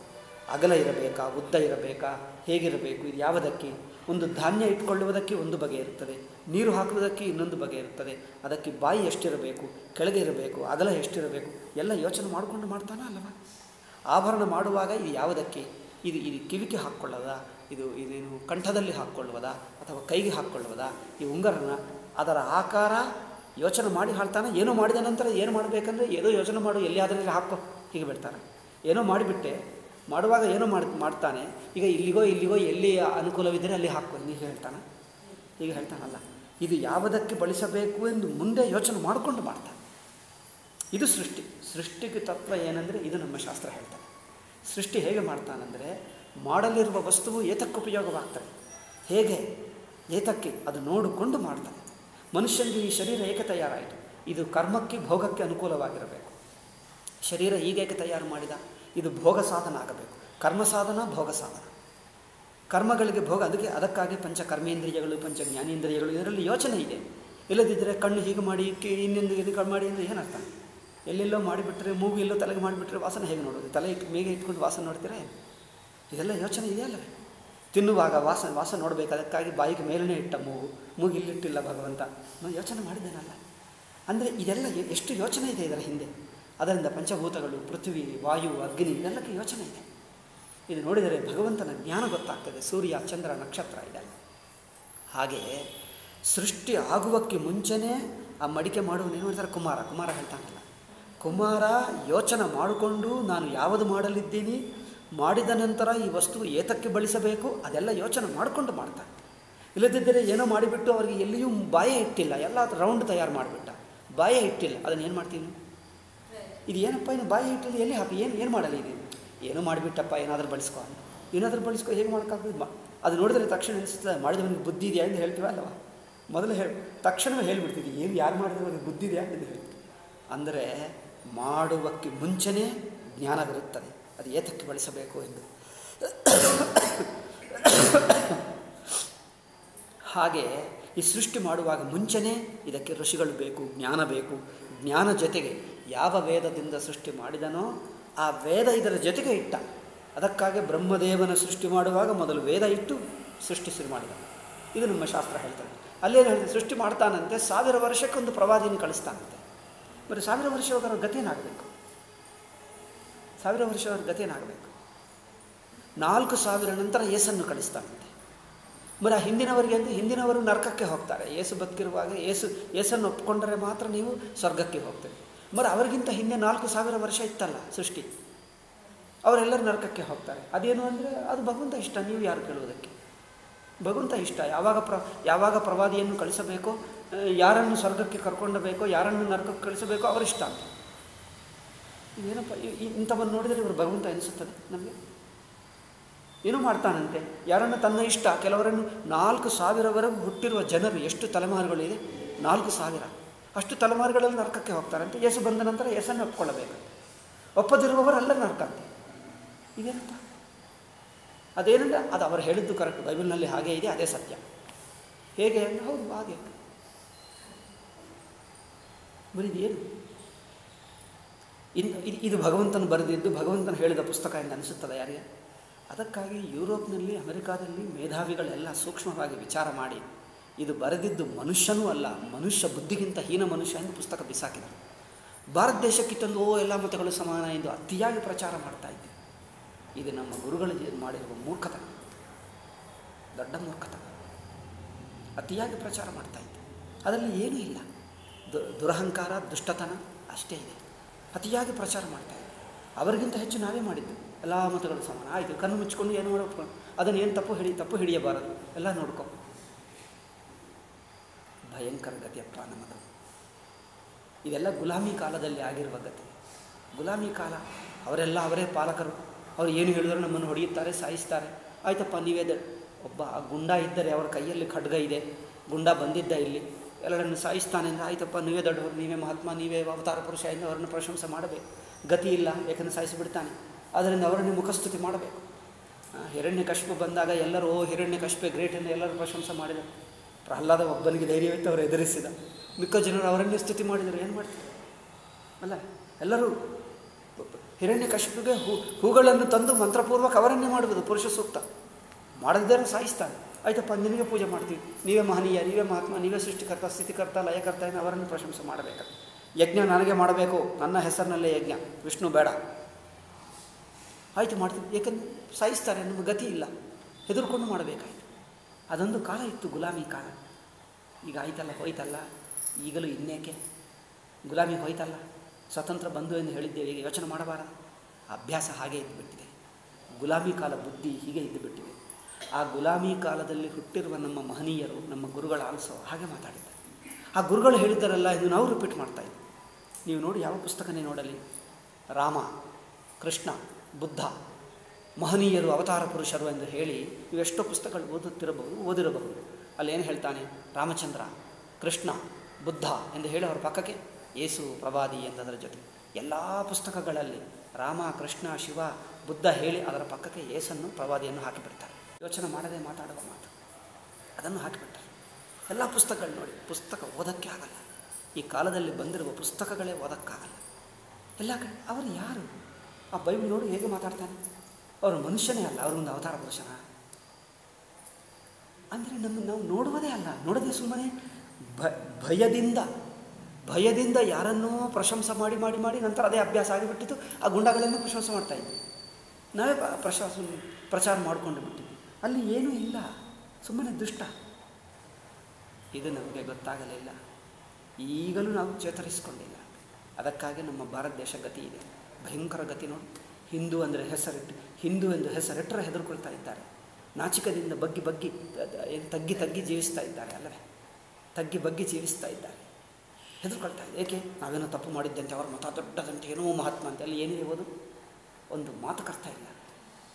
ವಿದೇಶದಲ್ಲಿರುವ ಮೇಧಾವಿಗಳ, ಅದು ಪುಸ್ತಕ ಅಲ್ಲ, ಬರೆದಿರುವವರು ಹೇಳಿದವರು ಒಂದು ಮನುಷ್ಯನೇ ಅಲ್ಲ ಅವರು, ಭಗವಂತ ಪಕ್ಕಕ್ಕೆ ಮನುಷ್ಯನೇ ಅಲ್ಲ ಎಂದು ಪುಸ್ತಕನೇ ಬಿಸಾಕಿಬಿಟ್ರು. ವಿದೇಶರು ಯಾರು ಓದೋದೇ ಅಲ್ಲ. ಭಾರತ ದೇಶದಲ್ಲಿ ವಿಜೃಂಭಿಸಿ ಪ್ರಚಾರ ಮಾಡ್ತಾ ಇದ್ದಾರೆ. ಏಕೆ? ನಾವೇ ಕೊಟ್ಟಿದ್ದೀವಿ. ಎಲ್ಲ ಮತಗಳು ಸಮಾನ. ಓಹ್, ಹುಚ್ಚು ಮಾತ. ನಿಜವಾಗಿ ಹುಚ್ಚು. ಸಾಮಾನ್ಯ ಹುಚ್ಚಲ್ಲ. ಸಾಮಾನ್ಯ ಹುಚ್ಚಲ್ಲ. ಕಂಸನನ್ನು, ರಾವಣನನ್ನು ಯಾರಾದರೂ ಅವತಾರ ಪುರುಷ ಎಂದು ಹೇಳಿದರೆ ನಿಮ್ಗೆ ಏನು ಅನಿಸುತ್ತದೆ? ಆಹಾ, ಎಷ್ಟು ಮಹಾತ್ಮ ಅವತಾರ ಪುರುಷ. ಹಾಗೆ ಇದೆ ನಮ್ಮ ಬುದ್ಧಿ ಅದಕ್ಕಾಗಿ ಸೃಷ್ಟಿಯ ಜ್ಞಾನ, ಸೃಷ್ಟಿ ಜೊತೆಗೆ ಇದೆ. ಹೇಗೆ ನಡ್ಕೊಳ್ಳಬೇಕು ಜೀವನನ್ನು ಹೇಗೆ ದೇಹೇಂದ್ರಿಯ ಮನಸ್ಸುಗಳಿಗೆ ಸಿಕ್ಕಾಕ್ಕೊಂಡ ಇದರನ್ನು ದಾಟಿ ಇಂದ್ರಿಯ ನಿಗ್ರಹ, ಮನೋ ನಿಗ್ರಹ ಭಗವದ್ಭಕ್ತಿ ನಾನು ನನ್ನದು ಅಭಿಮಾನ ಬಿಡಿಸಿ ಹೇಗೆ ದಾಟಿ ಪರಮಾತ್ಮ ಸ್ವರೂಪ? ಇದೆಲ್ಲ ಜ್ಞಾನ ಸೃಷ್ಟಿ ಆದಿಯಿಂದ ಇತ್ತು. ಏಕೆ? ಬ್ರಹ್ಮದೇವನಿಗೆ ವೇದ ಜ್ಞಾನ ಇತ್ತು. ಸೃಷ್ಟಿ ಯಾವ ಜ್ಞಾನದಿಂದ ಸೃಷ್ಟಿ ಮಾಡಿದರೋ ಅದೇ ಜ್ಞಾನದಿಂದ ಹೇಗೆ ನಡ್ಕೊಳ್ಳಬೇಕು, ಹೇಗೆ ಪ್ರಪಂಚವನ್ನು ದಾಟಬೇಕು? ಆ ಜ್ಞಾನ ಜೊತೆಗೆ ಇತ್ತು. ಅದಕ್ಕಾಗಿ ನಮ್ಮ ಶಾಸ್ತ್ರ ಯಾವಾಗಲೂ ಸೃಷ್ಟಿ ಆದಿಯಿಂದಲೇ ಜ್ಞಾನ ಇತ್ತು. ಜ್ಞಾನದಿಂದಲೇ ಸೃಷ್ಟಿ ಮಾಡಿದ ಜ್ಞಾನವಿಲ್ಲದೆ ಮಾಡಲಿಲ್ಲ. ಏನು ಮಾಡಿದ ನಂತರ ಯೋಚನೆ ಮಾಡೋದು, ಇದು ಏನಪ್ಪ, ಏಕೆ ಆಯಿತು, ಇದನ್ನು ಏನು ಮಾಡಲಿ ಅಂದರೆ ಹಾಗೆ ಯಾರಾದರೂ ಇರ್ತಾರೆ. ಏನೋ ತಯಾರು ಮಾಡಿದ ನಂತರ, ಹೌದು, ಇದು ಮಾಡಿದ್ದೆ, ಇದು ಏನು ಮಾಡಬೇಕು, ಇದು ತಿನ್ನಬೇಕಾ, ಬಿಸಾಕಬೇಕಾ, ಎಲ್ಲಿರಬೇಕು? ಅಂದರೆ ಏನು ಮಾಡ್ತಾ ಇದ್ದೀವಿ ನಿಮ್ಗೆ ಗೊತ್ತಿಲ್ಲದೆ ಮಾಡಿದೆಯಾ ಇದು ಏನು ಮಾಡ್ತಾ ಇದ್ದೀನಿ ಗೊತ್ತಿಲ್ಲದೆ ಮಾಡಿದೆಯಾ ಮಾಡ್ತಾರೆ, ಏನೋ ಮಾಡಿಬಿಡ್ತಾನಂತೆ. ನಂತರ ಯೋಚನೆ ಮಾಡ್ತೀನಿ ಅದು ಏನಪ್ಪ? ವಿಚಿತ್ರ. ಆಯಿತು. ಸವ ಅಯಂ ಯತ್ ಪದಮತ್ರ ಸೂರಯೋ ಜಿತೇಂದ್ರಿಯ ನಿರ್ಜಿತ ಮಾತರಿಶ್ವನಃ. ಪಶ್ಯಂತಿ ಭಕ್ತ್ಯುತ್ಕಲಿತಾಮಲಾತ್ಮನ ನನ್ವೇಷ ಸತ್ವಂ ಪರಿಮಾರ್ಷ್ಟುಮರ್ಹತಿ.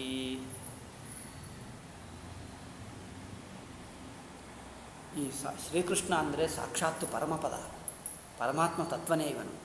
ಯತ್ ಪದಮಾತ್ರ ಸೂರ್ಯ ಸೂರ್ಯು ಅಂದರೆ ಋಷಿಗಳು, ಸಾಧಕರು, ಮಹನೀಯರು, ಭಕ್ತರು, ಜ್ಞಾನಿಗಳು, ಅವರೆಲ್ಲ ಇಂದ್ರಿ ಜಿತೇಂದ್ರಿಯ ಇಂದ್ರಿಯವನ್ನು ಗೆದ್ದು ನಿರ್ಜಿತ ಮಾತರೇಶ್ವರ ಪ್ರಾಣ, ಪ್ರಾಣವನ್ನು ಗೆದ್ದು ಇಂದ್ರಿಯವನ್ನು ಗೆದ್ದು, ಅಂದರೆ ಪ್ರಾಣಾಯಾಮಾದಿಗಳಿಂದ ಗೆದ್ದು, ಅಂತರ್ದೃಷ್ಟಿಯಿಂದ, ಭಕ್ತಿಯಿಂದ ಈ ಭಗವಂತನ ಸ್ವರೂಪವನ್ನು ಸೃಷ್ಟಿಸ್ಥಿತಿಲಯ ಕಾರಕ, ಸೃಷ್ಟಿಯೆಲ್ಲ ತನ್ನಲ್ಲೇ ಇದೆ, ಜಗತ್ತೆಲ್ಲ ತನ್ನಲ್ಲೇ, ಅನಾದಿ ಅನಂತವಾಗಿರುವ ಪರಮಾತ್ಮನನ್ನು ದರ್ಶಿಸಿಕೊಂಡರು.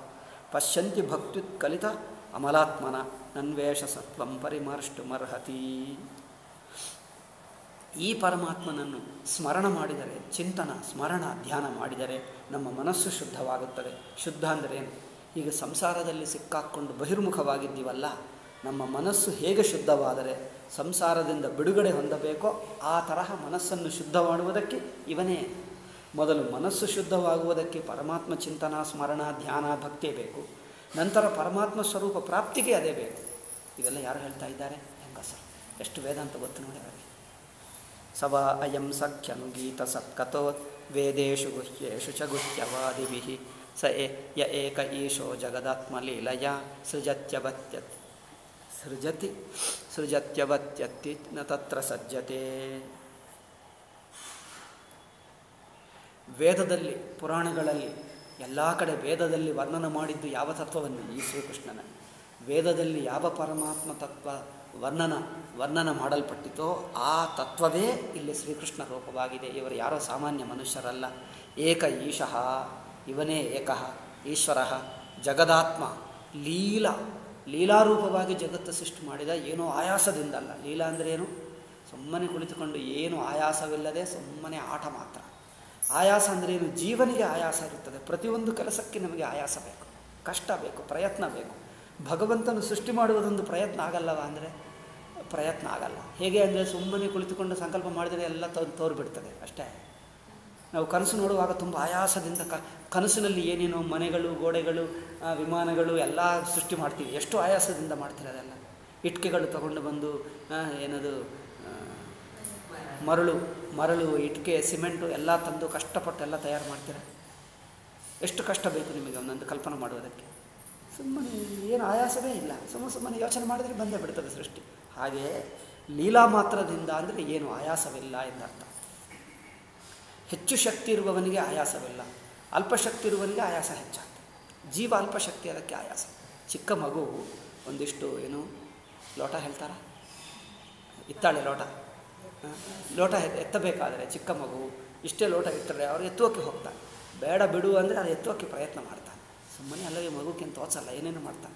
ಅವ್ರು ಕಷ್ಟಪಟ್ಟು ಈಗ ಎತ್ತುವಾಗ ಅವ್ರಿಗೆ ಕೆಳಗೆ ಬೀಳುತ್ತಾನೆ. ಇನ್ನೂ ಸ್ವಲ್ಪ ಬೆಳೆಯುತ್ತಾ ಬೆಳೆಯುತ್ತಾ ಏನಾಗ್ತದೆ? ಸ್ವಲ್ಪ ಕಷ್ಟಪಟ್ಟು ಎತ್ತುತ್ತಾನೆ. ಇನ್ನೂ ಹಿರಿಯನಾದನೆ ಇನ್ನೂ ಸ್ವಲ್ಪ ಎತ್ತುತ್ತಾನೆ. ಇನ್ನೂ ಹಿರಿಯನಾದನೆ ಎರಡು ಕೈಯಲ್ಲಿ ಸುಖ ಸುಖೇನ ಸುಖದಿಂದ ಎತ್ತುತ್ತಾನೆ. ಏನ ಸುಲಭವಾಗಿ. ಇನ್ನೂ ಹಿರಿಯನಾದರೆ ಒಂದು ಕೈಯಲ್ಲಿ ಎತ್ತು ಬಿಡ್ತಾನೆ ಇನ್ನೂ ಅಂದರೆ ಇದೊಂದು ಬೆರಳಿಕೆ ಹಾಕ್ಕೊಂಡು ಇನ್ನೊಂದು ಎರಡು ಮೂರು ಇಟ್ಕೊಂಡು ಹೋಗ್ತಾನೆ. ಅಂದರೆ ತನ್ನ ಶಕ್ತಿ ಎಷ್ಟೆಷ್ಟು ಹೆಚ್ಚಾಗ್ತದೋ, ಅದೇ ಕೆಲಸ ಅನಾಯಾಸವಾಗಿ ಬಿಡ್ತದೆ. ಹಾಗೆ ಪರಮಾತ್ಮಕ್ಕೆ ಈ ಸೃಷ್ಟಿಯಲ್ಲಿರುವ ಒಂದು ವಸ್ತುವನ್ನು ಎತ್ತುವುದಕ್ಕೆ ನಮಗೆ ಎಷ್ಟು ಆಯಾಸವಾಗ್ತದೆ. ಇಷ್ಟೆಲ್ಲ ಬ್ರಹ್ಮಾಂಡವನ್ನೇ ಸೃಷ್ಟಿ ಮಾಡಲಿಕ್ಕೆ ಎಷ್ಟು ಆಯಾಸ ಆಗುತ್ತಿರಬಹುದು? ಒಂದು ಮಡಿಕೆ ಮಾಡಲಿಕ್ಕೆ ಕುಮಾರನಿಗೆ ಎಷ್ಟು ತೊಂದರೆ ಬೇಕು? ಒಂದು ಬಟ್ಟೆ ತಯಾರು ಮಾಡಲಿಕ್ಕೆ ಎಷ್ಟು ಆಯಾಸ ಬೇಕು? ಎಷ್ಟು ಕಷ್ಟ ಬೇಕು? ಎಷ್ಟು ಜ್ಞಾನ ಬೇಕು? ಅಲ್ಲದೆ ಮಡಿಕೆ ಮಾಡಲಿಕ್ಕೆ ತನ್ನ ಅಪ್ಪನಿಂದ ಕಲಿಯಬೇಕು ಮಣ್ಣನ್ನು ತಗೊಳ್ಳ ಬರಬೇಕು, ಏನೇನು ಮಾಡಬೇಕು? ಭಗವಂತನಿಗೆ ಇಷ್ಟು ದೊಡ್ಡ ಸೃಷ್ಟಿ ಮಾಡಲಿಕ್ಕೆ ಎಷ್ಟು ಆಯಾಸ, ಎಷ್ಟು ಕಷ್ಟ ಆಗಿರಬಹುದು? ಏನಾಗಲಿಲ್ಲ ಅಯ್ಯೋ, ಅದೇನು ಅಂದರೆ ಪರಮಾತ್ಮ ಸೃಷ್ಟಿ ಎಷ್ಟಿದೆಯೋ ಅದಕ್ಕಿಂತ ಸಾವಿರ ಪಟ್ಟು ಹೆಚ್ಚಿರುವವನು. ಅವನಿಗೆ ಸೃಷ್ಟಿ ಏನಿಲ್ಲ ಅದು ಸುಮ್ಮನೆ ಆಟ ಹಾಗೆ ಆಗಿಬಿಟ್ಟಿದೆ. ಯಾಕಂದರೆ ಅವರ ಶಕ್ತಿ ಅಷ್ಟು ಅಂಥದ್ದು ಅನಂತ ಶಕ್ತಿ. ಅನಂತ ಜ್ಞಾನ. ಆದ್ದರಿಂದ ಸೃಷ್ಟಿ ಅಲ್ಲ ಸುಮ್ಮನೆ ಹೀಗೆ ಹಗುರವಾಗಿ ಆಗಿಬಿಟ್ಟಿದೆ. ಲೀಲಾ ಮಾತ್ರದಿಂದ. ಅದು ಒಂದೊಂದು ಮಾತು ನೋಡಿದರೆ ಅದ್ಭುತವಾಗಿದೆ. ಸ ಏಕಲೇಶೋ ಜಗದಾತ್ಮ ಲೀಲಯ. ಆ ಈಶ್ವರ ಈ ಜಗತ್ತನ್ನು ಲೀಲಯ, ಲೀಲಾ ಮಾತ್ರದಿಂದ. ಸೃಜತ್ಯವತ್ಯತ್ತಿನ ತತ್ರ ಸಜ್ಜತ್. ಇಷ್ಟು ಜಗತ್ತೆಲ್ಲ ಮಾಡುತ್ತಿದ್ದರು. ಮತ್ತು ಸೃಷ್ಟಿಕಾಲದಲ್ಲಿ ತಾನೇ ಅವತಾರ ಕೃಷ್ಣ ರಾಮಾದಿ ರೂಪಗಳನ್ನು, ನರಸಿಂಹಾದಿ ರೂಪಗಳು ಧರಿಸಿ ಮನುಷ್ಯನ ಹಾಗೆ ಓಡಾಡುತ್ತಾ ಇರುವಾಗಲೂ ಯಾವುದು ಅಂಟುಕೊಳ್ಳಲ್ಲ. ಜೀವನ ಹಾಗೆ ಅಂಟುಕೊಳ್ಳಲ್ಲ. ಎಲ್ಲ ಕಣ್ಣಿನಿಂದ ನೋಡುತ್ತಾನೆ, ಕಿವಿಯಿಂದ ಕೇಳುತ್ತಾನೆ, ಮುಟ್ಟುತ್ತಾನೆ, ತಿನ್ನುತ್ತಾನೆ, ಏನು ಮಾಡ್ತಾನೆ? ಯಾವುದು ಅಂಟುಕೊಳ್ಳಲ್ಲ, ಯಾವುದಕ್ಕೆ ಆಸಕ್ತಿ ಆಗಲ್ಲ. ಕರ್ಮ ತಯಾರಾಗಲ್ಲ. ನಾವು ಮಾಡಿರುವ ಪ್ರತಿಯೊಂದು ಕೆಲಸಕ್ಕೆ, ಪ್ರತಿಯೊಂದು ಅನುಭವಕ್ಕೆ ಕರ್ಮ ತಯಾರಾಗುತ್ತದೆ. ಈ ಕರ್ಮದಿಂದ ಮತ್ತೆ ಅನುಭವಿಸಬೇಕಾಗ್ತದೆ. ಭಗವಂತನ ಲೀಲೆಯಿಂದ ಭಗವಂತನ ಶ್ರೀಕೃಷ್ಣ ರಾಮಾದಿ ಅವರು ನಡೆಯುತ್ತಾ ಇದ್ದರೆ, ವ್ಯವಹಾರ ನಡೆಯುತ್ತಾ ಇದ್ದಾರೆ ಕರ್ಮ ತಯಾರಾಗಲ್ಲ. ಅವರ ಜೀವನ, ವ್ಯವಹಾರ ಲೀಲ ನಡೆಯುತ್ತದೆ ಮತ್ತು ಲೀಲ ಮುಗಿಯುತ್ತದೆ. ಮತ್ತೆ ಇದರಿಂದ ಕರ್ಮ ಆಗಿ ಮುಂದಿನಕ್ಕೆ ಕರ್ಮ ಎಂದಿರಲ್ಲ. ಯಾಕೆ ಅವರದ್ದು ಲೀಲಾ ಮಾತ್ರ. ನಮಗೆ ನಾವು ಜೀವಿಸಿರುವ ಪ್ರತಿಯೊಂದು ಜೀವನ ಘಟನೆ ಸಂಸ್ಕಾರ ಬೀಳುತ್ತದೆ. ಕರ್ಮ ಪುಣ್ಯ ಪಾಪ ತಯಾರಾಗ್ತದೆ. ಮುಂದಿನಕ್ಕೆ ಬರ್ತದೆ. ಅವರಿಗೆ ಪುಣ್ಯ ಪಾಪ ಸಂಸ್ಕಾರ ಏನಿಲ್ಲ, ಸುಮ್ಮನೆ ಅದೇನು? ಕನ್ನಡಿಯಲ್ಲಿ ತೋರುವ ರೂಪಗಳ ಹಾಗೆ. ಕನ್ನಡಿಯ, ಕನ್ನಡಿಯಲ್ಲಿ ರೂಪಗಳು ತೋರಿದರೆ ಹೇಗೆ ತೋರ್ತವೆ? ಎಲ್ಲ ತೋರ್ತವೆ. ತೋರಿದ ನಂತರ, ಆ ರೂಪ ಹೋಗ, ಹೋದ ನಂತರ ಅಲ್ಲೇನಾದರೂ ಸಂಸ್ಕಾರ ಆಗಿ ಏನಾದರೂ ಅಂಟ್ಕೊಂಡಿರುತ್ತಾ? ಏನಿರಲ್ಲ ಹಾಗೆ ಪರಮಾತ್ಮನ ಲೀಲ ಹಾಗೆ ಇರ್ತದೆ. ಯಾವುದು ಅಂಟ್ಕೊಂಡು? ನಮಗೆ, ನಮ್ಮ ಮನಸ್ಸು ಕ್ಯಾಮರಾ ಹಾಗಿರುತ್ತೆ ಅನುಭವಿಸಿದ್ದ, ನೋಡಿರುವ ಪ್ರತಿಯೊಂದು ವಸ್ತು ಕ್ಯಾಮರಾ ಹಾಗೆ ಸಂಸ್ಕಾರ ಬೀಳುತ್ತೆ. ಆ ಸಂಸ್ಕಾರ ನಮಗೆ ಆಶೆಯನ್ನು ಉಂಟು ಮಾಡಿ ಏನೇನೋ ನಮ್ಮನ್ನು ಅಂಟಿಸಿಬಿಡ್ತದೆ. ಪರಮಾತ್ಮನಿಗೆ ಕನ್ನಡಿ ಹಾಗಿರುತ್ತಾನೆ. ಅಥವಾ ನಾಟಕ. ನಾಟಕದಲ್ಲಿ ಒಂದು ಪಾತ್ರ ಧರಿಸಿ ಹರಿಶ್ಚಂದ್ರನ ಪಾತ್ರ ಡೈಲಾಗ್ ಹೇಳ್ತಾನೆ, ಏನೋ ಹೇಳ್ತಾನೆ, ಎಲ್ಲ ಆದ ನಂತರ ಏನಿಲ್ಲದಂತೆ ನಿಶ್ಚಿಂತವಾಗಿ ಮನೆಗೆ ಹೋಗ್ತಾನೆ. ಅಯ್ಯೋ ನಾವಪ್ಪ ರಾಜ್ಯ ಕಲ್ಕೊಂಡೆ, ಅಯ್ಯೋ, ಪಾಪ ಕಷ್ಟ ಆಯಿತು, ನನ್ನ ಪತ್ನಿಯನ್ನು ಮಾರ್ಕೊಂಡೆ ಅಂತ ಮನೆಗೆ ಹೋಗಿ ಆ ದಿವಸ ಎಲ್ಲ ಬೇಜಾರು ಮಾಡ್ಕೊಳ್ತಾನೆ. ಏಕೆ ಮಾಡಲ್ಲ? ಯಾಕಂದ್ರೆ ಅದು ತನ್ನದು ಅಲ್ಲವೇ ಅಲ್ಲ, ಸುಮ್ಮನೆ ಲೀಲಾ ಮಾತ್ರ. ಅದು ಯಾವುದು ನಿಜವಾಗಿ ಆಗಲಿಲ್ಲ ಹಾಗೆ. ನಿಜವಾಗಿ ಆಗಲಿಲ್ಲ ಅಂದರೆ ಅದು ಆ ಅನುಭವಕ್ಕೆ ತಾನು ಒಳಗಾಗಲ್ಲ, ಸುಮ್ಮನೆ ತೋರಿಕೆ. ಹಾಗೆ ಶ್ರೀಕೃಷ್ಣ ಎಲ್ಲ ಲೀಲಾ ತೋರಿಸ್ತಾನೆ. ಅದಕ್ಕೆ ಕರ್ಮ, ಪುಣ್ಯ, ಪಾಪ ಏನಿರಲ್ಲ, ಇದೊಂದು ಆನಂದದಿಂದ ಮಾಡುವ ಲೀಲ. ಆಯಾಸದಿಂದ ಅಲ್ಲ, ಆನಂದದಿಂದ ಮಾಡುವ ಲೀಲ. ಅದು ನೋಡಿ ಭಗವಂತನ ಲೀಲಾ ಹೇಗಿರುತ್ತೆ ಆ ಲೀಲಾರೂಪ ಭಗವಂತನನ್ನು ಧ್ಯಾನ, ಚಿಂತನ, ಸ್ಮರಣ, ನಾಮಸ್ಮರಣ ಮಾಡ್ತಾ ಇದ್ದರೆ ನಮ್ಮ ಮನಸ್ಸು ಶುದ್ಧವಾಗಿ, ನಾವು ಭಗವಂತನ ಲೀಲೆಯಲ್ಲಿ ಭಾಗವಹಿಸಿ ನಾವು ಸಂಸಾರದಿಂದ ತರಿಸ್ತೇವೆ. ಅದಕ್ಕಾಗಿ ಭಗವಂತನ ಲೀಲ ಮಾಡಿದ್ದೇ ಅದಕ್ಕೋಸ್ಕರ. ನಾವು ಹಾಗೆ ಅವರ ಅವರ ಸ್ಮರಣ ಮಾಡುತ್ತಾ ಮಾಡುತ್ತಾ ನಮಗೂ, ನಮ್ಮ ಜೀವನವೂ ಹಾಗೆ ಆಗಬೇಕು. ಕರ್ಮ ಇಲ್ಲದೆ ಪುಣ್ಯ ಪಾಪಗಳು, ಅಭಿಮಾನ ಅಹಂಕಾರಗಳೆಲ್ಲ ಬಿಟ್ಟು ಶ್ರೀಕೃಷ್ಣನ ಹಾಗೆ ನಮ್ಮ ಜೀವನ ಆಗಬೇಕು. ಅವರ ಜೀವನದಲ್ಲಿ ನಾವು ಸೇರಿಕೊಳ್ಳಬೇಕು ನಮ್ಮ ಜೀವನವೂ ಲೀಲಾ ಮಾತ್ರ ಆಗಬೇಕು. ಆವಾಗ ಸಂಸಾರ ಬಿಡುತ್ತದೆ. ಯದಾಹ್ಯ ಧರ್ಮೇಣ ತಮೋಧಿಯೋ ನೃಪ. ಜೀವಂತಿ ಯತ್ರ ಈಶ ಹಿ ಸತ್ವತಃ ಕಿಲ. ದತ್ತೇ ಭಗಂ ಸತ್ಯಮೃತಂ ದಯಂ ಯಶೋ. ಭವಾಯ ರೂಪಾಣಿ ದದತ್ಯುಗೇ ಯುಗೇ ಅಧರ್ಮ ಹೆಚ್ಚಾದಾಗ, ಪಾಪಾತ್ಮರು ದುಷ್ಟರು, ಕಂಸಾದಿಗಳು ದುಷ್ಟರು ಹೆಚ್ಚಾದಾಗ, ಆಗಾಗ ಭಗವಂತನ ಅವತರಿಸ್ತಾನೆ. ಬಂದು ಆ ದುಷ್ಟರನ್ನು ಶಿಕ್ಷಿಸಿ, ಸಿ ಯದಾಹ್ಯಧರ್ಮೇಣ ತಮೋಧಿಯೋ ನೃಪ. ದುಷ್ಟರು, ಪಾಪಾತ್ಮರಾಗ ರಾಜರು, ವಿಜೃಂಭಿಸಿ, ಹಾಳು ಮಾಡ್ತಾ ಇದ್ದರೆ ಜೀವಂತಿ ತತ್ರ ಈಶ ಹಿ ಸತ್ವತಃ ಕೆಲ. ದತ್ತೆ ಭಗಂ ಸತ್ಯ. ಅಲ್ಲಿ ಐಶ್ವರ್ಯ, ಸತ್ಯ, ಅಮೃತ, ದಯಾ, ಯಶ ಇತ್ಯಾದಿ ಅನಂತ ಸದ್ಗುಣಗಳನ್ನು ಒಳಗೊಂಡು ಭಗವಂತ ಅವತರಿಸಿ, ಈ ದುಷ್ಟರನ್ನು ಸಂಹರಿಸಿ, ಸಜ್ಜನರನ್ನು ಅನುಗ್ರಹಿಸಿ, ಸಜ್ಜನರಿಗೆ ಸಂಸ್ಕಾರವನ್ನು ಕೊಟ್ಟು ಒಳ್ಳೆಯವನ್ನು ಮಾಡಿ, ರೂಪಾಣಿ ದದತ್ ಯುಗೆ. ಯುಗೆ ಯುಗೆ ಅಂದರೆ ಯುಗಕ್ಕೊಂದು ಸಲ ಬರ್ತಾನೆ, ನಾಲ್ಕು ಯುಗಗಳೇ ನಾಲ್ಕೇ ಸಲ ಬರುತ್ತಾನೆ ಅಂತ ಅರ್ಥ ಅಲ್ಲ. ಯುಗೆ ಯುಗೆ ಅಂದರೆ ಆಗಾಗ ಎಂದರ್ಥ ಅಷ್ಟೇ. ಒಂದೇ ಯುಗದಲ್ಲಿ ಅನೇಕ ಸಲನೂ ಬರಬಹುದು. ಎಲ್ಲೆಲ್ಲಿ ಅವಕಾಶವೋ ಅಲ್ಲೆಲ್ಲಿ ಬರ್ತಾನೆ. ಅಹೋ ಅಲಂ ಶ್ಲಾಘ್ಯತಮಂ ಯದೋಃ ಕುಲಂ ಅಹ ಯದುವಂಶ ಎಷ್ಟು ಪುಣ್ಯಾತ್ಮರು ಜನ್ಮ ಜನ್ಮಗಳಲ್ಲಿ ಎಷ್ಟು ಪುಣ್ಯ ಮಾಡಿಕೊಂಡರೋ ಸಾಕ್ಷಾತ್ ಕೃಷ್ಣ ತಮ್ಮ ಯದು ವಂಶದಲ್ಲೇ ಹುಟ್ಟಿದ, ಅಲ್ಲವೇ? ಯದು ವಂಶದಲ್ಲೇ ಹುಟ್ಟಿದ ಅಂದರೆ ಅವರಿಗೆ ಎಷ್ಟು? ಈಗಲೂ ನೋಡಿ, ಅವರು ಮಥುರಾ ಅಂದರೆ ಮಥುರಾ ಬೃಂದಾವನಕ್ಕೆ ನೋಡಿ ಅವರು ಈಗಲೂ. ಇದು ನಮ್ಮವರು ಕೃಷ್ಣ ಅಂದರೆ ನಮ್ಮ ಊರಿನವರೇ, ಈಗಲೂ ಭಾವಿಸ್ತಾರೆ ನಮ್ಮ ಊರಿನಲ್ಲಿದ್ದಾರೆ ಅನಿಸುತ್ತದೆ ಈಗ ನಮ್ಮ ನಮ್ಮ ಜೀವನದಲ್ಲೇ ಶ್ರೀಕೃಷ್ಣನ ಜನ್ಮ ಆಯಿತು ಅಂದಂತೆ ಭಾವನೆ ಇರುತ್ತಾರೆ. ಅಯೋಧ್ಯೆಯಲ್ಲಿ ಅವರು ಜನಕ್ಪುರ ಜನಕ್ಪುರ ಅನ್ನುವುದು ನೇಪಾಲ್ನಲ್ಲಿದೆ ಅಂದರೆ ಅದೇನು ಬಿಹಾರ್ಗೆ ಮೇಲಿನ ಭಾಗ, ಅದು ಮಿಥಿಲಾ ನಗರ ಹೇಳ್ತಾರೆ. ಅವರು ಈಗಲೂ ತಿಳ್ಕೊಳ್ತಾರೆ, ನಾವು ಸೀತಾ ಸೀತಾ ಊರಿನವರು, ನಾವು. ಸೀತಾ ಊರಿನವರು ನಾವು, ಅದು ರಾಮಚಂದ್ರನ ರಾಮಚಂದ್ರನ ಅದಕ್ಕೇನು ಹೇಳ್ತಾರೆ? ಮದರ್ ಇನ್ ಲಾಸ್ ಹೌಸ್ ಅಂದರೆ ಏನು ಹೇಳ್ತಾರೆ? ಅತ್ತೆ ಮನೆ, ಆ. ಸಿ, ರಾಮಚಂದ್ರನಿಗೆ ಇದು ಇದು ನಮ್ಮ ಸೀತಾ ಊರು, ಇವರು ನಮ್ಮದೇ ಅಯೋಧ್ಯ, ಅವರ ಸೀತಾ. ಆ ಜನರು ಈಗಲೂ ಅದೇ ಭಾವನದಿಂದ ಏನೋ ಹಿಂದೆ ಆಗಿಯೋ ಘಟನಾ ಅಲ್ಲ, ಈಗಲೂ ರಾಮಚಂದ್ರ ಇದ್ದಾನೆ, ಅವರು ಅದೇ ಭಾವನದಲ್ಲೇ ಇರ್ತಾರೆ. ಮಥುರಾ ಬೃಂದಾವನ ನೋಡಿದರೆ ಈಗಲೂ ಕೃಷ್ಣ ಅಲ್ಲೆಲ್ಲ ಓಡಾಡ್ತಾ ಇದ್ದಾನೆ, ನಾವು ಅಲ್ಲೇ ಇದ್ದೀವಿ. ಆ ಲೀಲಾ ಸಮಯದಲ್ಲೇ ಇದ್ದೀವಿ ಹಾಗೆ ಅನಿಸುತ್ತೆ. ನಾನು ಮೊದಲನೇ ಸಲ ಬೃಂದಾವನಕ್ಕೆ ಹೋದಾಗ ನಮಗೂ ಹಾಗೆ ಅನಿಸುತ್ತೆ. ಅವನು ನಮ್ಮ ಗುರುಗಳು ಹೇಳುತ್ತಿದ್ದರು, ಹಾಗೆ ಇರುತ್ತೆ. ಅಲ್ಲಿ ನೋಡಿದರೆ, ಎಲ್ಲಿ ನೋಡಿದರು ಏನೋ ಒಂದು ಆ ಕೃಷ್ಣನ ಗಜ್ಜೆಯ ನೃತ್ಯ ಕಳಿಸ್ತಾ ಇದ್ದಂತೆ ನನಗೆ ಅನಿಸುತ್ತೆ. ನನಗೆ ಆಶ್ಚರ್ಯ ಆಯಿತು. ಅವ್ರು ಹೇಳಿದ್ದರು ಹಾಗೆ ಆಗ್ತದೆ ಅನ್ನೋದು ನಿಜವಾಗಿ ಹಾಗೆ ಆಯಿತು. ಆ ಚಿಕ್ಕ ಇಷ್ಟು ಚಿಕ್ಕ ಚಿಕ್ಕ ಬೃಂದಾವನಕ್ಕೆ ಕುಂಜ ಗಲೀನಿಮೆ ಎಂದು ಹೇಳ್ತಾರೆ. ಒಂದು ಹಾಡು ಕೇಳಿದ್ದೀನಿ ನಾನು. ಹಾಂ? ನಾಚತ್ ನಾಚತ್ ಆವೋ ಅಂತ ಹೇಳಿ ಹೇಳಿ, ಕೇಳಿದ್ವಿ ಒಂದು ಸಲ ಹೀಗೆ. ಬೃಂದಾವನಕ್ಕೆ ಕುಂಜ ಗಲೀನಿಮೆ ಬೃಂದಾವನದಲ್ಲಿ ಕುಂಜ ಅಂದರೆ ಚಿಕ್ಕ ಚಿಕ್ಕ ಇಷ್ಟು ಗಲ್ಲಿ ಗಲ್ಲಿ ಅಂದರೆ ಚಿಕ್ಕ ಸಂದುಗಳಿರುತ್ತವೆ. ಬೃಂದಾವನಕ್ಕೆ ಕುಂಜಗಳಿನಿಮೆ ನಾಚತ ನಾಚತ ಆವೋ. ಆವೋ ಕನ್ನಯ್ಯ, ಆವೋ ಆವೋ ಆವೋ. ಗೋಪಿ ಜನ ಸಂಘ ಕೇಳೋ यशोदा मैया ढूंढ रही है कहाँ है मेरा लाल हाँ, यशोदा मैया ढूंढ रही है कहाँ है मेरा लाल कहाँ है गोपाल कहाँ है ಗೋಪಾಲ್ ಅದು ಅಲ್ಲಿ ನೋಡಿದ್ರೆ ನಿಜವಾಗಿ ಹಾಗೆ ಅನಿಸುತ್ತೆ ಅದು ಒಂದೊಂದು ಕಣ ಕಣ ಆ ಬೃಂದಾವನದ ಧೂಳಿ ಕಣ ಕಣದಲ್ಲಿ ಹೇ ಕೃಷ್ಣ ಕೃಷ್ಣ ಕೃಷ್ಣ ಅಂತ ಹೇಳ್ತಾ ಇರುತ್ತೆ ಅಲ್ಲಿ ನೋಡಿದರೆ ಏನೋ ಒಂದು ದಿವ್ಯ ವೈಬ್ರೇಷನ್ ಈಗಲೂ ಅನಿಸುತ್ತೆ, ಸಾಮಾನ್ಯ ಲೋಕ ಅಲ್ಲ, ಒಂದು ವೈಕುಂಠನೇ ಅನಿಸುತ್ತೆ. ಅದು ಏನೋ ಒಂದು ದಿವ್ಯ ವೈಬ್ರೇಷನ್ಸ್ ಎಲ್ಲಿ ಕೂತಿದ್ದರೂ ತಮ್ಮ ಮನಸ್ಸು ತಾನೇ ತಾನೇ ಏಕಾಗ್ರವಾಗ್ತದೆ. ಜಪ ನಡೀತದೆ, ಅದ್ಭುತವಾದ ಸ್ಥಾನ. ಆ ಬೃಂದಾವನ ಮಥುರ, ಅದು ಏನೋ ಆ ಮಹಿಮೆ ಇದ್ದೇ ಇದೆ. ಒಂದು ಸಲ ಶ್ರೀಕೃಷ್ಣನ ಪಾದ ಬಿದ್ದರೆ ಆ ಧೂಳು ಧೂಳು ದಿವ್ಯಮಯ, ವೈಕುಂಠಮಯ. ಆ ಗೋಪಿಕರು ಹೇಳ್ತಾರೆ ಅದು, ದಶಮ ಸ್ಕಂದದಲ್ಲಿ ನೋಡೋಣ. ಆ ಸಾಕ್ಷಾತ್ ಬ್ರಹ್ಮದೇವನ ಬೇಡಿಕೊಳ್ಳುವುದರಿಂದ ನೀವು ಲಕ್ಷ್ಮೀ ಸಮೇತವಾಗಿ ಬಂದು ಈ ಬೃಂದಾವನದಲ್ಲೇ ನೆಲೆ ನಿಂತಿದ್ದೀವಿ ಇದೆಲ್ಲ ವೈಕುಂಠವೇ ಆಯಿತು ಎಂದು ಆ ಗೋಪಿಕರು ವರ್ಣನ ಮಾಡ್ತಾರೆ. ಅದು ನಿಜ ಬೃಂದಾವನ ಹಾಗೆ ಅದಂಥ ದಿವ್ಯವಾದ ಕ್ಷೇತ್ರ. ಅದರಿಂದ ಯದುವಂಶ ಎಷ್ಟು ಪುಣ್ಯಾತ್ಮ ನೋಡಿ, ಎಷ್ಟು ಜನ್ಮ ಜನ್ಮಗಳ ಪುಣ್ಯ ಮಾಡಿಕೊಂಡರ ಸಾಕ್ಷಾತ್ ಕೃಷ್ಣ ತಮ್ಮ ವಂಶದಲ್ಲೇ, ತಮ್ಮಲ್ಲೇ ಒಬ್ಬನಾಗಿ ತಮ್ಮ ಕುಟುಂಬದಲ್ಲೇ ಹುಟ್ಟಿದ್ದಾರೆ. ಅಹೋ ಅಲಂ ಶ್ಲಾಘ್ಯತಮಂ ಯದೋಃ ಕುಲಂ ಅಹೋ ಅಲಂ ಪುಣ್ಯತಮಂ ಮಧೋರ್ವನಂ ಮಧುವನ ಅಂದರೆ ಬೃಂದಾವನಕ್ಕೆ ಮಧುವನ ಹೇಳ್ತಾರೆ, ವ್ರಜ ಹೇಳ್ತಾರೆ. ನೋಡಿದ್ರೆ ಬೃಂದಾವನ? ಇಪ್ಪತ್ತು ಕಿಲೋಮೀಟರ್ ಇದೆ. ಮಥುರಾನಿಂದ ಮಥುರಾನಿಂದ ಬೃಂದಾವನಕ್ಕೆ ಮಥುರಾ ಈ ಸೈಡ್ ಆಗ್ತದೆ ರೈಲ್ವೆ ಸ್ಟೇಷನ್ ಸೈಡ್ ಅಂದರೆ ಈ ಸೈಡ್ ಈ ದಿಲ್ಲಿ ದಾರಿಗೆ. ಇಲ್ಲಿಂದ ಆ ಸೈಡ್ ಒಳಗೆ ಹೋಗಬೇಕು ಬೃಂದಾವನ. ಅಲ್ಲಿಂದ ಇನ್ನೂ ಈ ಮತ್ತು ಇತ್ತೀಚೆಗೆ ಇನ್ನೂ ಏನೋ ಆಶ್ರಮಗಳು ಕಟ್ತಾ ಇದ್ದಾರಂತೆ. ಒಂದು ಬರ್ಸಾನ ಒಂದಿದೆ. ರಾಧಾದ ಊರು ಅಂತ ಹೇಳ್ತಾರೆ. ಒಳ್ಳೆ ಬೃಂದಾವನ. ಅಲ್ಲಿ ಗೋಕುಲ ಒಂದಿದೆ. ಗೋಕುಲ ಅಂದರೆ ಅವರು ಹುಟ್ಟಿರುವ ಸ್ಮಾಲ್ ವಿಲೇಜ್ ನಂತರ ಅದು ಗೋವರ್ಧನ ಚಿಕ್ಕ ಬೆಟ್ಟ ಇದೆ ಅಲ್ಲಿ ಒಂದು. ಆ ಗೋವರ್ಧನ. ಈ ಸುತ್ತೆಲ್ಲ ಈ ನಾಲ್ಕೈದು ಸ್ಥಾನಗಳು. ಎಲ್ಲ ಇಪ್ಪತ್ತು ಕಿಲೋಮೀಟರ್ನಲ್ಲಿ ಬಂದುಬಿಡ್ತವೆ. ಬೃಂದಾವನ ಅಂದರೆ ನಿಜವಾಗಿ ಆ ಕಾಲದಲ್ಲಿ, ಭಾಗವತದಲ್ಲಿ ಹೇಗೆ ಕೇಳಿದ್ದೀವೋ ಈಗಲೂ ಹಾಗೇ ಅನಿಸುತ್ತದೆ. ಆ ಕೃಷ್ಣ ಲೀಲನೆ ಈಗಲೂ ನಡೆಯುತ್ತಾ ಇದ್ದಂತೆ. ಅಷ್ಟು ದಿವ್ಯವಾಗಿದೆ. ಎಲ್ಲೆಲ್ಲಿಂದ? ಇಡೀ ಪ್ರಪಂಚದಿಂದ ಜನರು ಬರ್ತಾ ಇದ್ದಾರೆ.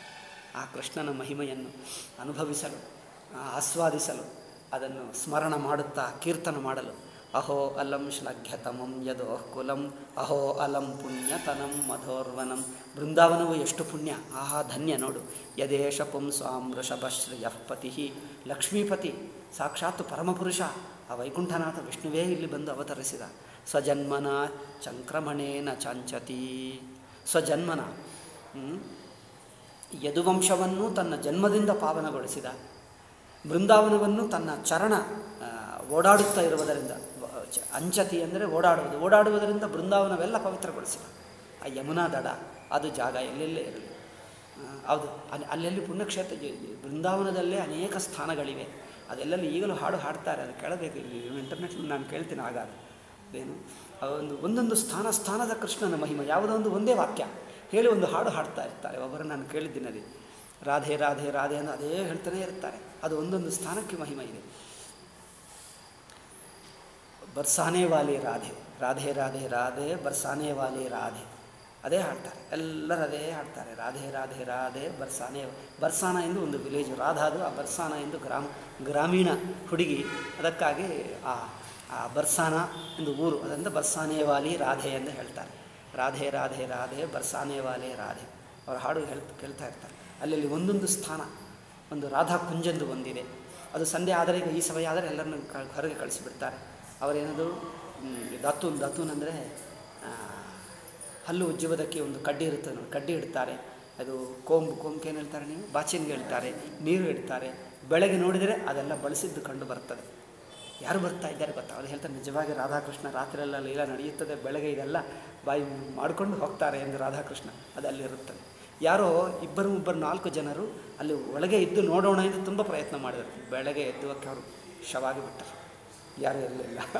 ಅದಕ್ಕಾಗಿ ಅಂಥದ್ದು ಅತಿ ಕ್ಯೂರಿಯಾಸಿಟಿ ತೋರಿಸಬಾರದು ರಾಧಾಕುಂಜೆಂದು ನೋಡಿದ್ದೀನಿ. ಈಗಲೂ ಅಷ್ಟು ದಿವ್ಯವಾಗಿದೆ. ಅಲ್ಲೇ ರಾಧಾಕೃಷ್ಣ ಲೀಲಾ ನಡೆಯುತ್ತದೆ ಎಂದು ಹೇಳ್ತಾರೆ. ಅದೆಲ್ಲ ಬೃಂದಾವನ ನೋಡತಕ್ಕದ್ದು ಬಟ್ ಬೃಂದಾವನ ನೋಡೋದಕ್ಕೆ ಮುಂಚೆ ಒಂದು ಸಲ ಭಾಗವತ ಸಪ್ತಾಹ ಕೇಳಿ ಹೋಗ, ಹೋಗಬೇಕು. ಸುಮ್ಮನೆ ಹೋದರೆ ಜನರಿಗೆ ಏನಿಸುತ್ತದೆ ಏನೋ ಇಲ್ಲೆಲ್ಲ ರೋಡ್ ಕ್ಲೀನ್ ಇಲ್ಲ, ಇದೇನಿಲ್ಲ, ಇಲ್ಲಿ ಬಸ್ ರೈಲು, ಆಟೋ ಅದೇ ಕಂಡು ಬರ್ತದೆ, ಬೇರೆ ಏನಿಲ್ಲ ನಿಮಗೆ. ಒಂದು ಸಲ ಭಾಗವತ, ಗುರುಮುಖದಿಂದ, ಭಕ್ತರ ಮುಖದಿಂದ, ಪಂಡಿತರ ಮುಖ ಅಲ್ಲ, ಭಕ್ತರ ಮುಖದಿಂದ ಕೇಳಿ ಆವಾಗ ಹೋ ಹೋ, ನಾನು ಬೃಂದಾವನಕ್ಕೆ ಹೋಗೋಕ್ಕೆ ಮುಂಚೆನೇ ಸ್ವಲ್ಪ ಕೇಳಿದ್ದೀನಿ ಭಾಗವತ. ಇವರಿಂದ ಮೊದಲನೇ ಸಲ ಹೋದರೆ ಹೆಜ್ಜೆ ಇಟ್ಟರೆ ಸಾಕು. ಎಲ್ಲೋ ಗಜ್ಜೆ ಕೇಳಿಸ್ತಾ ಇರುತ್ತದೆ. ಬಾ ಆಶ್ಚರ್ಯವಾಗ್ತದೆ ಕೃಷ್ಣ ಎಲ್ಲೆಲ್ಲ ಇದ್ದಾನೆ, ಎಲ್ಲೇ ತಿರುಗುತ್ತಾ ಇದ್ದಾನೆ ಅನಿಸಿ ಅದು ಆಶ್ಚರ್ಯ. ಹಾಂ ನನ್ನಂಥ ಸಾಮಾನ್ಯನಿಗೆ ಹಾಗೆ ಆಯ್ತಂದರೆ ನೀವು ಎಲ್ಲರೂ ಹೋಗಿ ನಿಮಗೂ ಆಗುತ್ತದೆ ಅನುಭವ, ಅದೊಂದು ದಿವ್ಯ. ಅಹೋ, ಬತಸ್, ಆಯಿತು. ಇನ್ನೂ ಒಂದು ನಾಲ್ಕಾರು ಶ್ಲೋಕಗಳಿವೆ. ನಾಳೆ ಹೇಳೋಣ, ಸಾಕು. ನಾಳೆ ಶನಿವಾರ ಅಲ್ಲವೇ? ನಾಳೆ ಹೇಳಿ ಒಂದು ಭಾನುವಾರ ನಾನು ಬೆಳಗ್ಗೆ ಹೋಗ್ತೀನಿ ಬೆಂಗಳೂರು ಕಾರ್ಯಾಲಯ ಒಂದು ವಾರ ದಿವಸ ಇರ್ತೀನಿ ಅಲ್ಲಿ ಬೆಂಗಳೂರು ಕಾರ್ಯಾಲಯ ಇದೆ. ಮತ್ತೆ ಭಾನುವಾರ ಆಗುತ್ತದೋ? ಮುಂದಿನ ಭಾನುವಾರ. ಭಾನುವಾರ ಆಗುತ್ತದಲ್ಲವೋ ಹೇಳೋಕ್ಕಾಗಲ್ಲ. ಸೋಮವಾರ ಮಾತ್ರ ಅವಶ್ಯ ಇಟ್ಕೊಳ್ಳೋಣ, ಅಲ್ಲವೇ? ಈಗ ನಾಳೆ ಶನಿವಾರ ಪಾಠ ಇಟ್ಟು ಭಾನುವಾರದಿಂದ ಭಾನುವಾರನೂ ರಜಾ, ಸೋಮವಾರ ಮಾತ್ರ ಈಗ ಸಂಜೆಗೂ ಇಟ್ಕೊಳ್ಳೋಣ. ಆಯಿತಾ? ಓಂ ಶಾಂತಿ ಶಾಂತಿ.